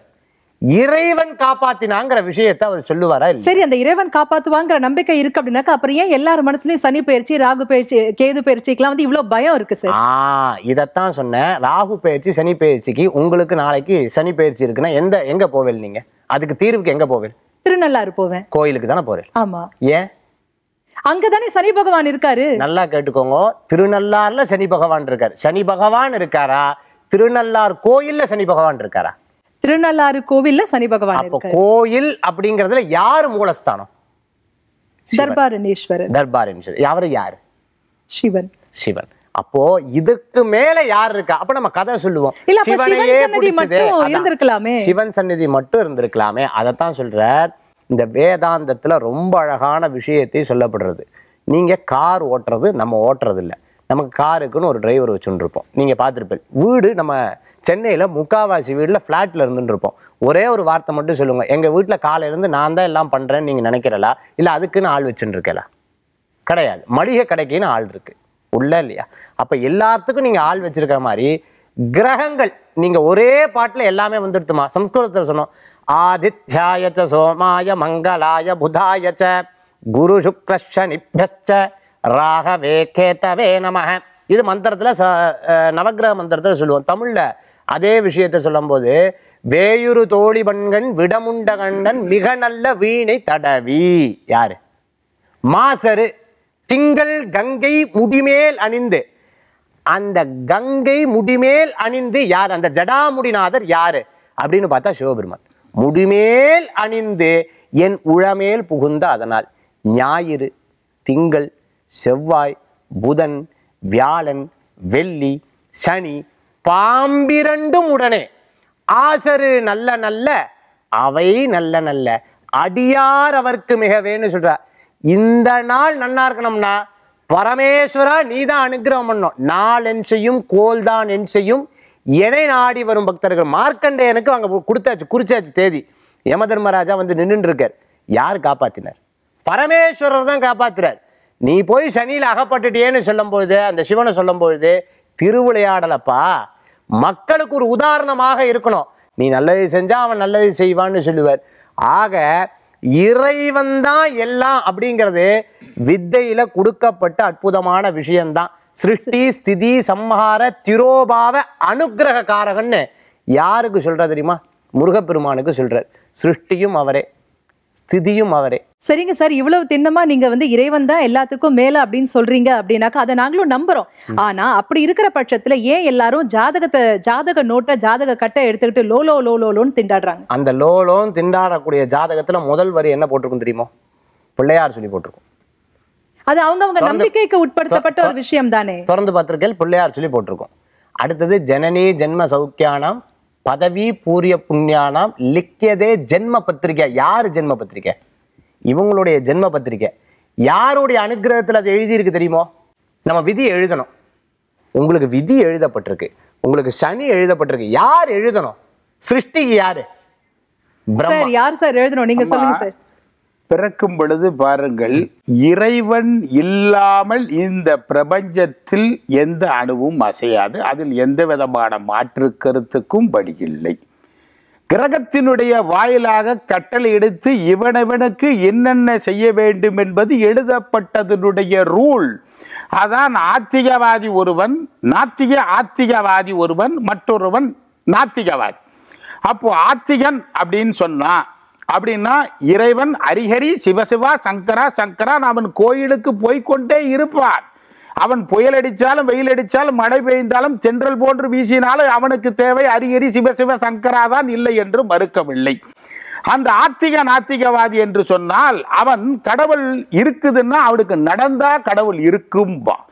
நடக்கலன்னா கடவுள் இல்லம்பா என்னடா இவனை போய் வணங்குனா ஒண்ணுமே செய்யலையேம்பா அவனுக்கு நடந்தா சாதகமாக எடுத்துக்கும். அவன் தான் நாத்திக நாத்திகன். கடவுள் இல்லை என்று பறைசாற்றுபவன் நாத்திகன். அவன் என்னதான் சொன்னாலும் கடவுள் இல்லை என்று மறுப்பாளன். இந்த மூன்று மனிதர்கள் தான் கடந்த நிகழ்ச்சியில் நான் சொல்லும் பொழுது இதுதான். மகேசையர் இவ்வளவு பெரிய சமஸ்கிருதம் ஸ்லோகங்கள் பாராயணமாக சொல்ல வேண்டும் என்றால் அவருடைய ஜாதகத்தில் கேதுனுடைய அம்சமும் செவ்வாயுடைய அனுகிரகம் இல்லாமல் சமஸ்கிருத கிரந்தை மொழிக்கு சொந்தக்காரன் பிறக்க முடியாது. அப்ப இஸ்லாமியர் ஒருவன் வந்து என்னை ஜாதகம் பார்க்க வருவான் உனக்கு கந்த சஷ்டி கவசம் என்பது தலையில் பாடம். சொல்லியான்னு கேட்கிறேன் இந்த லக்னத்துக்கு. அவர் கந்த சஷ்டி சவசத்தை ஏன் பாடுகிறான்? அவர் பிறந்தது இஸ்லாமியருடைய வயிற்றில். அப்போ நாம் என்னதான் நம்ம சொன்னாலும் பிறக்கும் பொழுது இவனவனுக்கென்று ஊழ்வினை என்பது உருத்து வந்து ஊட்டுவதைப் போல எழுதி அடித்து முடித்து விட்டார். அப்போ என்னதான் கோயிலுக்கு போனால் நல்ல மாற்றங்கள் நிகழ வேண்டும் அல்லவா? இல்லையா? ஆமா. ஏன் எல்லோருக்கும் மாற்றங்கள் நிகழுவதில்லை? அதுவும் அங்கே எழுதப்பட்டிருக்கிறது. முடித்து விடுகிறேன் மகேஷ் ஐயா. காரணம் போயிட்டு கோயிலுக்கு திரும்பி போறோம் நடக்குது ஏன் நடக்குது? எதனால நடக்குது ஆக்சிடென்ட் அவன் ஜாதகத்தில் முருகன் கோயிலுக்கு போயிட்டு வர்றான் பழனி கோயிலுக்கு போயிட்டு வர்றான் திண்டுக்கல் ஓரத்தில் ஒரு குடும்பமே ஸ்பாட் அவுட் ஏன் அந்த குடும்பத்தை முருகன் தூக்கி நிறுத்தியிருக்கலாம் இல்லை ஏன் நிறுத்த முடியவில்லை? முருகனுடைய அருளை பெற வேண்டும் என்றால் அவனுடைய கட்டத்தில் செவ்வாயுடைய அனுகிரகம் பெற்றிருந்தால் அவன் முருகன் கோயிலுக்கு போனாலும் நல்லா இருப்பான் போகலன்னாலும் நல்லா இருப்பான். அவனுடைய முருகன் கோயிலில் தான் முருகன் வீட்டு முன்னாடியே காட்சியளிப்பான் அதே போன்று சிவனுடைய அருள் பெற்றிருந்தால் சூரியனை நமஸ்காரம் பண்ணி இல்ல அவனுடைய இயற்கையாகவே இவ்வளவு பெரிய ஆஜோன பாகவமாக உட்கார்ந்திருக்கிறோமே அவர்களுடைய ஜாதகத்தில் ஜொலிக்கிறோமே உலகமெல்லாம் பிரசித்தி பெற்ற புகழுக்குரிய ஜோதிடராக இருக்கிறோமே அதற்கு அந்த சூரியனை குரு பார்க்க வேண்டும். சந்திரனை குரு பார்த்தால் அம்பாளுடைய அனுகிரகம் அவன் வாசல் படியில் வந்து நிற்கும். நீ வாசலை ஏந்த வேண்டால். கிரகத்தினுடைய அமைப்புக்கு தெய்வத்தினுடைய அனுகூலம் இல்லாமல் ஒரு மனிதன் பிறப்பதில்லை. அதான் ஜனனே சௌக்கியானாம் குலவர்தினி இதையெல்லாம் சொன்னாரு. இதுதான். அப்போ ஊழ்வினை பிறப்பால் எழுதப்பட்ட பாட்டன் மூட்டன் முப்பாட்டன் செய்த நன்வினையும் அடைகிறோம். அவர்கள் சேர்த்து வைத்த சொத்தை அடைகிறோம் அல்லவா? அதே போன்று தீவினையும் இடையே அது எழுதப்பட்டிருக்கிறது. அம்பாளுடைய அனுகிரகத்தை பெற வேண்டும் என்றால் சந்திரன் அவன் பிறப்பு ஜாதகத்தில் நன்றாக இருக்க வேண்டும். செவ்வாயுடைய அனுகிரகத்தை பெற்று பிறக்க வேண்டும் என்றால் அவன் முருகனுடைய அம்சத்தை பெற்றால் மட்டும்தான் அந்த அம்சம். சூரியனுடைய அம்சத்தை பெற வேண்டும் என்றால் சிவாலுடைய அம்சத்தை பெற வேண்டும் என்றால் சூரியனுடைய அனுகிரகத்தை பிறக்கும் பொழுது தவமா இருந்து மண்டி தருகி உருகி தெய்வத்தினுடைய பாதத்தில் பூஜித்தவன் தான் இந்த பூ உலகத்தில் சிறப்பு. கஷ்டப்பட்டுக்கிட்டே இருக்கிறான். வாழ்க்கை முழுவதும் கஷ்டம் கஷ்டம் ஏன்? அந்த கிரகங்கள் தெய்வங்கள் ஏன் அனுகூலமாக இல்லை? அதான் பிறப்பு ஜாதகம். இப்போ எல்லாத்தையும் சொல்லிட்டு கிரகத்தினுடைய அடைவுல வந்து உட்காந்துக்கிட்டு நம்ம வாய்கிலேயே எல்லாரும் சனி நல்லா இருக்குமா குரு நல்லா இருக்குமா சந்திரன் நல்லா இருக்குமா சுந்தரன் நல்லா இருக்குமான்னா பிறக்கும் போது வாங்கிட்டு வர்றாம நோட்டை தூக்கிட்டு என் வர்றாங்க எத்தனை பேர்? சார் எப்போ சார் வழி கிடைக்கும்? நான் போகாத கோயில் இல்லையா? ஏறாத இது இல்லையா? எல்லா பூஜை புனஸ்காரம் அத்தனை பண்ணிட்டேன் என் வாழ்க்கையில் விடியலையா? இன்னும் ஆறரை வருஷம் கழிச்சா விடியும். என்னையா ஆறரை வருஷம்னா? இப்படியே காலங்கள் உருண்டு ஓடிக்கிட்டே இருக்கு. இங்கே எழுதியாச்சே. செத்தவன் காதுல சங்கூதனா பொழைச்சுக்குவானம்மா. அவனே செத்து போயிட்டான். அவன் காதுல இப்ப ஊன்னு பரிகாரத்தை ஊதியோ எதையும் பண்ணி எல்லாம் ஜெயிக்க முடியாது. இங்க பரிகாரம் பண்ணனாலும் சரி தெய்வத்தினுடைய ஒரு உயர்ந்த அங்கத்தை அடைய வேண்டும் என்றாலும் சரி சிறப்பா பொழைக்கணும்னாலும் பொழைக்கலைனாலும் எல்லாம் அடுகிறதோட ஃபிக்ஸ் பண்ணி முடிச்சிட்டான். பாக்குறவன் நம்மள சரியா பார்த்தாதான் இவங்களே நம்மள டிவியில பாப்பாங்கன்னு அழகான விளக்கம் கொடுத்தீங்க. ஐயா நீங்க சொல்லுங்க. பொதுவாக வந்து ஜோதிடம் அப்படிங்கிறது உலகத்துல யாராலும் கொடுக்க முடியாத மனோதிடத்தை கொடுக்கக்கூடியதுதான் ஜோதிடம். அந்த ஜோதிடத்தை நம்ம வந்து கவனமாக பேசணுங்கிற விஷயத்தை இந்த நேரத்தில் வந்து பதனமாக எடுத்து சொல்லி பொதுவாக கிரக பயிற்சி அப்படிங்கிறது வந்து பார்த்தீங்கன்னா இப்போ சாதாரணமாக வந்து நம்ம வந்து கையில் பொருள் இருந்தால் நீங்கள் நினைச்ச கல்வி படிக்கலாம். ஆனால் கடவுளுடைய அருள் இருந்தால் மட்டும்தான் ஜோதிடத்தை படிக்க முடியுங்கிற விஷயத்தை இந்த நேரத்தில் பணிவோடு எடுத்து சொல்லி அந்த ஜோதிடமும் வேதாந்தமும் ஆன்மீகமும் விஞ்ஞானத்துக்கு மேலே புரியாத ஒரு மிகப்பெரிய புதிராக இருந்துட்டு இருக்குது அப்படிங்கிற விஷயத்தை இந்த நேரத்தில் உங்களுக்கு மீண்டும் பதிவு செஞ்சு பொதுவாக வந்து பார்த்தீங்க அப்படின்னா ஒருவருடைய ஜாதகத்தில் இப்போ கிரக பயிற்சி வந்து உட்காந்து பேசுகிறோமே அப்படின்னு கவலைப்பட்டாங்க இல்லையா? பார்க்குற நிறைய பேர் வந்து கவலைப்படுவீங்க இல்லையா? கிரக பயிற்சி அப்படிங்கிறது வந்து வரு வருவதே வந்து பார்த்தீங்கன்னா ஒவ்வொரு மனுஷாலையும் முயற்சி செய்ய வைக்கிறதுக்காகத்தான் கிரக பயிற்சி வருதுங்கிற விஷயத்தை யாரும் மறந்துட வேண்டாம். அது இரண்டு நாளைக்கு ஒருக்கா மாறக்கூடிய சந்திரனாக இருந்தாலும் சரி நாற்பது நாளைக்கு ஒருக்கா மாறக்கூடிய சுக்கரனாக இருந்தாலும் சரி அதாவது பன்னிரெண்டு மாதங்களுக்கு ஒரு முறை மாறக்கூடிய குரு பகவானாக இருந்தாலும் சரி பதினெட்டு மாதங்களுக்கு ஒரு முறை பயிற்சி ஆகக்கூடிய ராகுகேது பகவானாக இருந்தாலும் சரி முப்பது மாதங்களுக்கு ஒரு முறை பயிற்சி ஆகக்கூடிய சனி பகவானாக இருந்தாலும் சரி. இந்த இடத்துல சனி பகவானை பற்றி நம்ம சொல்கிறோம் ஜாதகத்தில் நீங்கள் பிறக்கும் பொழுது உங்களுடைய கரு உருவாகும் பொழுதே உங்களுக்கு இந்த வயசில் இந்த பலன் அப்படின்னு எழுதி வச்சிருக்காரு. கடவுள். அது எழுதி வச்சது கடவுள் தான் அப்போ அன்று எழுதியவன் அடிச்சு அழிச்சு எழுத மாட்டார் அப்படிங்கிறது பொதுவான விதி தான் ஆனால் அன்று எழுதிய அந்த விதியை அழிச்சு எழுதக்கூடிய தகுதி நவ கிரகங்களில் சனி பகவானுக்கு இருக்குதுங்கிற விஷயத்தை இந்த நேரத்தில் அடிச்சு சொல்ல கடமைப்பட்டிருக்கிறேன். எந்த மனுஷனா இருந்தாலும் உன்னுடைய ஜாதகத்தில் சுக்கரன் நல்லா இருந்தா சுக்கிரன் நல்லது பண்ணுவார். செவ்வாய் நல்லா இருந்தா செவ்வாய் நல்லது பண்ணுவார். குரு நல்லா இருந்தால் குரு நல்லது பண்ணுவார். அது நீ வந்து சாமி கும்பிட்டாலும் கும்பிட்டாவிட்டாலும் கண்டிப்பாக நல்லா இருந்துட்டு இருக்க முடியும். நல்லா இருந்தார் அப்படின்னா. ஆனால் சனி பகவான் மட்டும் அதாவது முப்பது வருஷத்துக்கு ஒரு முறை எட்டி பார்க்கக்கூடிய சனி பகவான் நீங்கள் நல்லா இருந்தால் மட்டும்தான். அதாவது நல்ல காலம் வரும்பொழுது நல்ல சம்பாத்தியம் வரும்பொழுது நல்ல செல்வம் சேரும் பொழுது நல்ல அதிகார பலம் இருக்கும் பொழுது நல்ல ஆள் பலம் இருக்கும் பொழுது நல்ல படைபலம் இருக்கும் பொழுது நல்ல அரசியல் பலம் இருக்கும் பொழுது. நீங்கள் நல்லவராக இருக்கிறீங்களான்னு பார்க்கறதா சனி பகவான். அப்போ உங்கள் ஜாதகத்தில் என்னதான் விதி இருக்கட்டும் அந்த விதியை கதியாகவும் மதியாகவும் செல்வ நிதியாகவும் மாற்றக்கூடிய தகுதி சனி பகவானுக்கு மட்டுமே உண்டான மிகப்பெரிய அமைப்புங்கிற விஷயத்தை யாருமே மறந்துட வேண்டாங்க. நம்ம வந்து கஷ்டப்பட்டுக்கிட்டு இருப்போம். நான் தான் பெருசுன்னு பேசக்கூடிய தகுதி கிடையாது. நமக்கு மேலே இன்னும் பெரியானவங்க இருந்துட்டு இருக்காங்க. நிறைய பேர் இருந்துட்டு இருப்பாங்க. அவங்க மூலமாக நமக்கு ஒரு இணைஞ்சல் வருது எதிர்ப்பு வருது பிரச்சனை வருது அப்படின்னா நம்ம ஒரு அர்ச்சனையால் தீர்க்க முடியாம இருக்கோம் சாமியை காப்பாற்ற முடியாம இருக்கோம். அதுக்காக சாமி நம்மளை காப்பாற்றலையும் சொல்ல முடியாது. எந்த வயசுல இந்த பிரச்சனையை தீர்க்கணுமோ எந்த வயசுல பிரச்சனை பண்ணக்கூடிய அந்த மனுஷாலுக்கு முன்னாடி நீ கர்ஜனையோட வளம் வர முடியுமோ அதை வாழ்க்கையில தரக்கூடிய அமைப்பு தான் நவ கிரகத்திற்கும் நீங்கள் வணங்கக்கூடிய அந்த தெய்வத்துக்கும் இருந்துட்டு இருக்குது. யாராக இருந்தாலும் இப்ப நீங்க சொன்னீங்க இல்லைங்களா எந்த வயசுல அந்த பிரச்சனை தீரணுமோ அப்படின்னு. அப்ப எந்த வயசுல தீரணுமோ அந்த அந்த வயசுல தீந்துரும் இல்லையா? அப்புறம் நான் எதுக்கு தேவையில்லாம போய் சாமியை வழிபட அந்த தீர்வதற்கான தீர்வதற்கு உங்களுக்கு தெரியணும் இல்லையா? ஒரு அதாவது நிறைய பேர் பாருங்க சின்ன கஷ்டம் வந்திருக்கும். சின்ன ஒரு கடன் பிரச்சனை இருக்கும். அதாவது ஐநூறுரூவா கடனுக்காக தன்னுடைய உயிரை மாற்றிக்கிட்ட நிறைய பேர் பேப்பரில் பார்த்துருப்போ கடந்த காலங்களில் செய்தித்தாளில். ஐம்பது லட்சம் கடன் ஏன் ஐம்பதாயிரம் கோடி கடன் இருக்கும். உயரம் மாய்க்காம தைரியமாக வளம் பெறுவாங்க. அப்போ அந்த தைரியம் இல்லாதவனுக்கு தைரியம் திடம் இல்லாதவனுக்கு திடம் தரக்கூடிய அமைப்பு தான் ஜோ திடம் அப்படிங்கிற புரிஞ்சுக்கணும். நீங்கள் வந்து ஒரு சின்ன கஷ்டம் வந்ததுக்கப்புறம் நம்ம வந்து இனிமேல் வாழ்க்கையில் பிழைக்க முடியாது. நம்மளே நிறைய பேசுவோம் பாருங்க. நம்ம சொந்த பந்தங்கள் பேசுவாங்க. அதாவது ஒருவருக்கு வந்து எதிர்ப்பு அப்படின்னாலே சொந்த பந்தம் பங்காளியே நிறைய வந்துட்டு இருக்கும்.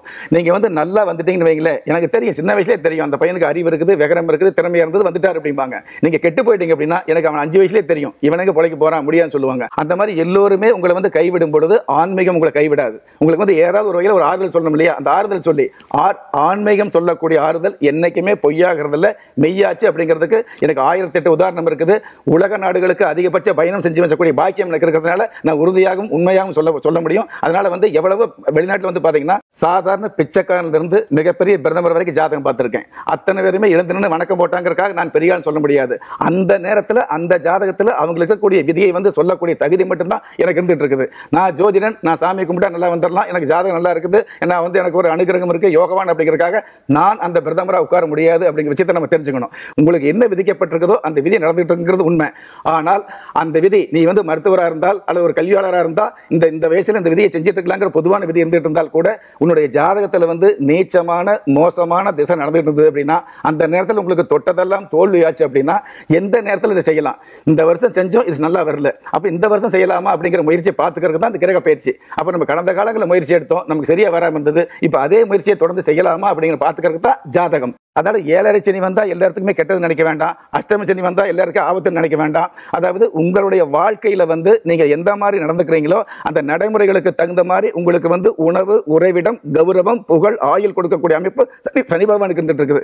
பிறந்த ஜாதத்தில் எழுதி வச்சுச்சு. நமக்கு நடக்காத அப்படிங்கிறாக மூடி வைக்க முடியாது. என்னுடைய அனுபவத்தில் வந்து எத்தனையோ ரூபாய் ஜாதகம் பார்த்துருக்குறோம். எத்தனையோ நிறைய பேர் வந்து தனியாக ஜாதகம் பார்க்க பண்ணுவீங்களே உங்களுக்கு கல்யாணமே ஆகலை அப்படிம்பாங்க. உங்களுக்கு கல்யாணத்துக்காக வந்துருங்க. நான் கல்யாணத்துக்கு பார்த்து சொல்கிறேங்க மாப்பிள்ளை பொண்ணு பார்த்து சொல்கிறோம் அப்படின்னு சொல்லுவாங்க. எங்களுக்கு திருமண பதிவு இருக்குது பதிவுன்னு சொல்லுவாங்க.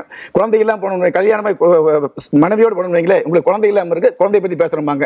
பெண் குழந்தை கூட்டி போனோம்னா ஆண் குழந்தை இல்லாம இருக்கு ஆண் குழந்தை கூட்டி போற ஆண் குழந்தை பிறக்க முடியுமாங்க. இப்படி தான் ஜாதகம் போயிட்டு இருக்குது எனக்கு குரு அப்படிங்கிறத விட எனக்கு ஆன்மீகம் தான் குரு.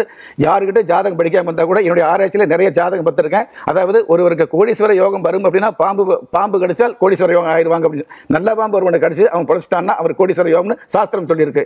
எல்லாரும் எழுதி பார்த்துருக்கலாம். நான் என்னுடைய ஏழாம் வகுப்பு படிக்கும் பொழுதே அந்த நல்ல பாம்பு புத்தில் கை வச்சு படுத்திருந்தேன். மத்தியானம் வரைக்கும். என்னுடைய நேரம் அந்த பாம்பு வந்து வேற பொந்தில் ஏறி போயிச்சதை வந்து என் மேலே ஏறல. ஏறி இருந்தால் அன்னைக்கு என்ன கோடீஸ்வரன் ஆயிருக்கலாம். சப்போஸ் அந்த கோடீஸ்வரன் ஆகாம இருந்தால் கூட இந்த உண்மையை சொல்ல முடியாது. எனக்கு வேணுங்கிறது வெடியால போதுங்கிறது பொழுதோடு இருந்துட்டு இருக்குங்கிற விஷயத்தை உங்களோட உங்ககிட்ட வந்து அப்பட்டமாக சொல்லி அது அத்தனையும் ஆன்மீகத்தின் மூலமாக தான் வந்தது அப்படிங்கிற விஷயத்தை இந்த நேரத்தில் வந்து ஒப்புதலாக சொல்லி யாரும் வந்து ஜாதகத்தை நம்பாமல் இருக்க வேண்டாம் சாஸ்திரத்தை நம்பாமல் இருக்க வேண்டாம் சாமியை நம்பாமல் இருக்க வேண்டாம் உங்களுடைய குலதெய்வத்தை நம்பாமல் இருக்க வேண்டாம்.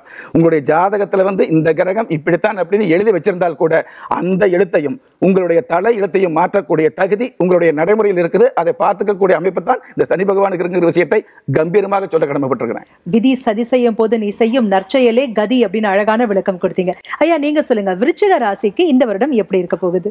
திருப்பி என்னடா சார் கிரகங்களே இல்லாம திருப்பி கிரகத்தை பத்தி சொல்ல போறீங்களே.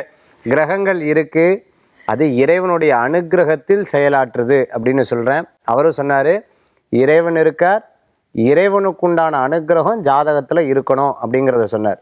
அது உண்மை. அண்ணா சொன்ன மாதிரி ரொம்ப அற்புதமான விஷயம் சொன்னார். அதாவது ஆன்மீகம் ஜோதிடம் நவக்கிரகங்கள் எல்லாமே சேர்ந்தாதான் இதில் வந்து முக்கியத்துவம் பெற முடியும் அப்படின்னு சொல்லுவார். ஏன்னா நிறைய தர்க்க சாஸ்திரங்கள்லாம் இருக்கும். நீங்கள் இன்றைக்கும் பார்த்துட்டு அப்படின்னு சொன்னால் நிறைய இடங்களில் தர்க்க சாஸ்திரம்னா ஒவ்வொரு ரிஷியும் ஒவ்வொரு விஷயங்களை பேசக்கூடிய சாஸ்திரத்துக்கு பேர் தர்க்க சாஸ்திரம்னு பேர். ஒரு விஷயத்தை போட்டு அதிலிருந்து பத்து பத்து பொருட்கள் வரும். நம்ம புதியோகத்தில் இருக்கக்கூடிய எல்லாத்துக்கும் பார்த்துட்டீங்க பார்க்கக்கூடிய நேர்கள் பார்த்துட்டீங்க அப்படின்னு சொன்னால் இந்த ஜோதிட சாஸ்திரங்கள் சரி ஜோதிடத்துக்கு மேலே இறைவனுடைய விஷயத்தையும் ரொம்ப அழகாக அற்புதமாக கவனித்து பார்த்து ரசிக்கிறது உண்டு. அதுலேயும் இந்த புது வருஷத்தில் பார்த்துட்டேன் அப்படின்னு சொன்னால் எந்த நிகழ்ச்சி வருதோ இல்லையோ எந்த சேனலில் வருதோ இல்லையோ நம்ம சேனலில் வர்றதை முக்கியத்துவம் கொடுத்து பார்க்குறவங்க ஏராளமான பேர் இருக்கிறவங்க நம்ம பார்க்க முடியும். ஆக விருச்சிகராசி அன்பர்களுக்கு இந்த தடவை எப்படி பார்க்க போகிறோம் அப்படின்னு பார்த்துட்டிங்கன்னா தொழில் ரீதியாக. நான் சொல்கிறது இதுக்கு முன்னாடி பார்த்துட்டிங்கன்னா மாத ரீதியாக பேசினேன் இப்போ தொழில் ரீதியாக பார்க்க போகிறோம் ஸோ தொழில் ரீதியாக பார்த்தீங்கன்னு சொன்னால் விஜயராஜ் என்பர்களுக்கு நன்னா இருக்குமா? அரசாங்க ரீ இதில் இருக்கிறவங்க அரசாங்கத்தினுடைய வேலையில் இருக்கிறவங்களுக்கு நன்னா இருக்கக்கூடிய வாய்ப்புகள் ஏற்படுத்தி கொடுக்கும். சின்ன சின்ன மாற்றங்கள் நடக்கக்கூடியதாக இருக்கும். இறைவனை வேண்டும் போது அற்புதமான பலன்கள் கொடுக்கக்கூடியதாக இருந்துருக்கும் வெளிநாடு வேலை செய்யக்கூடியவங்களுக்கு வெளிநாட்டு வேலை வாய்ப்பு தேடின்னு இருக்கிறவங்களுக்கு நல்ல பலன்கள் கொடுக்கக்கூடிய அற்புதமான சூழ்நிலைகள் மாறி வரக்கூடியதாக இருந்துருக்கும் சில நேரம் எனக்கு ரொம்ப சங்கடமாக இருந்துருக்கு என்ன பண்ணுறதுனே தெரியல அப்படின்னு சொல்கிறதா நல்ல பகவானை வேண்டிக்க வேண்டிக்க வேண்டிக்க நல்ல மாற்றங்கள் கிடைக்கக்கூடிய வாய்ப்புகள் ஏற்படுத்தி கொடுக்கும். அதே மாதிரி பார்த்துட்டிங்க ஆர்மியிலெல்லாம் எனக்கு வந்து எதிர்பார்த்துட்டுருக்கேன் போலீஸ் உத்தியோகம் ஐஏஎஸ் ஐபிஎஸ் படிச்சுட்டுருக்கேன்னு சொல்கிறவங்களுக்கு வாய்ப்புகள் கிடைக்கிறதுக்கு உண்டான சூழ்நிலைகள் இருக்கும். டஃப்பாக இருந்தாலும் விடாமுயற்சியோடு நீங்கள் பண்ணும்பொழுது நல்ல முன்னேற்றம் கிடைக்கக்கூடியதாக இருந்துருக்கும் அதே சமயத்தில் பார்த்துட்டோம்னா ரொம்ப வயசானவா. உடல் ரீதியான ஆரோக்கியத்தில் கொஞ்சம் அக்கறை எடுத்துக்கொள்ளக்கூடிய சூழ்நிலைகள் அப்படிங்கிறது வரும். கொஞ்சம் நிதானமாக ஒவ்வொரு டிசிஷனும் எடுக்கிறது நல்ல பலன்களை கொடுக்கக்கூடியதாக இருந்துருக்கும் இருக்கும் ஒரு சில முயற்சிகள் பார்த்துட்டேன் அப்படின்னு சொன்னால் தடுமாற்றம் வரும்பொழுது நம்மளோட பெரியவங்க கிட்ட கேட்டு பண்ணிக்கிறது நல்ல பலன்களை கொடுக்கக்கூடிய வாய்ப்புகளை ஏற்படுத்தி கொடுக்கும். சில நேரங்கள் பார்த்துட்டேல் அப்படின்னு சொன்னால் தொழிலிருந்து வேலை வாய்ப்புக்கு மாத்துறேன் வேலையிலேருந்து தொழிலில் மாத்துறேன் அப்படின்னு சொல்லும்போது டக்குன்னு அந்த டிசிஷன் எடுக்கிறது அவ்வளோ விசேஷங்கள் கிடையாது. ஒன்றுக்கு நூறு முறை பார்த்துட்டு அந்த டிசிஷன் எடுத்துக்கிறதுக்கு உண்டான வாய்ப்புகள் நல்லா இருக்கக்கூடியதாக இருந்துருக்கும். அப்பா செய்யக்கூடிய தொழிலே நான் செஞ்சுட்டு இருக்கேன் அப்பா செய்யக்கூடிய வேலையவே நானும் தொடர்ந்து பண்ணிட்டு இருக்கேன் இந்த இண்டஸ்ட்ரி இந்த ஃபவுண்ட்ரி இதெல்லாம் நான் பார்த்துட்டு இருக்கேன் இதை பார்க்கலாமா வேண்டாமா அப்படின்னு கேட்டால் உங்களுக்கு சாதகமான பலன்கள் தரக்கூடிய வாய்ப்புகள் அப்படிங்கிறது இருந்துருக்கு வாகனத்தில் செல்லும் பொழுது கவனமாக இருக்கக்கூடிய சூழ்நிலைகள் பார்த்துட்டு அப்படின்னு சொன்னால் ஜூன் ஜூலை அந்த மாதிரி காலகட்டத்தில் சற்று கவனம் என்பது தேவை. சில நேரங்களில் மறதியில் சில பொருட்களை அங்கங்கே வைக்கக்குண்டான வாய்ப்புகளை ஏற்படுத்தி கொடுக்கக்கூடியதாக இருந்துருக்கும் சில தொழில்கள் எனக்கு கிடைக்காமே இருந்துருக்கு நான் தடைபற்று ரொம்ப மன வருத்தத்தில் இருந்துட்டேன் அப்படின்னு சொல்லும் பொழுது அந்த மன வருத்தத்தை போக்குறதுக்கு யாராவது நண்பர்கள் ஹெல்ப் பண்ணக்கூடிய வாய்ப்புகளை ஏற்படுத்தி கொடுக்கும். சரி கவலைப்படாத உனக்கு வேலை கிடைக்கிற வரைக்கும் என்னோட வேலையை நீ வந்து எடுத்து பண்ணு.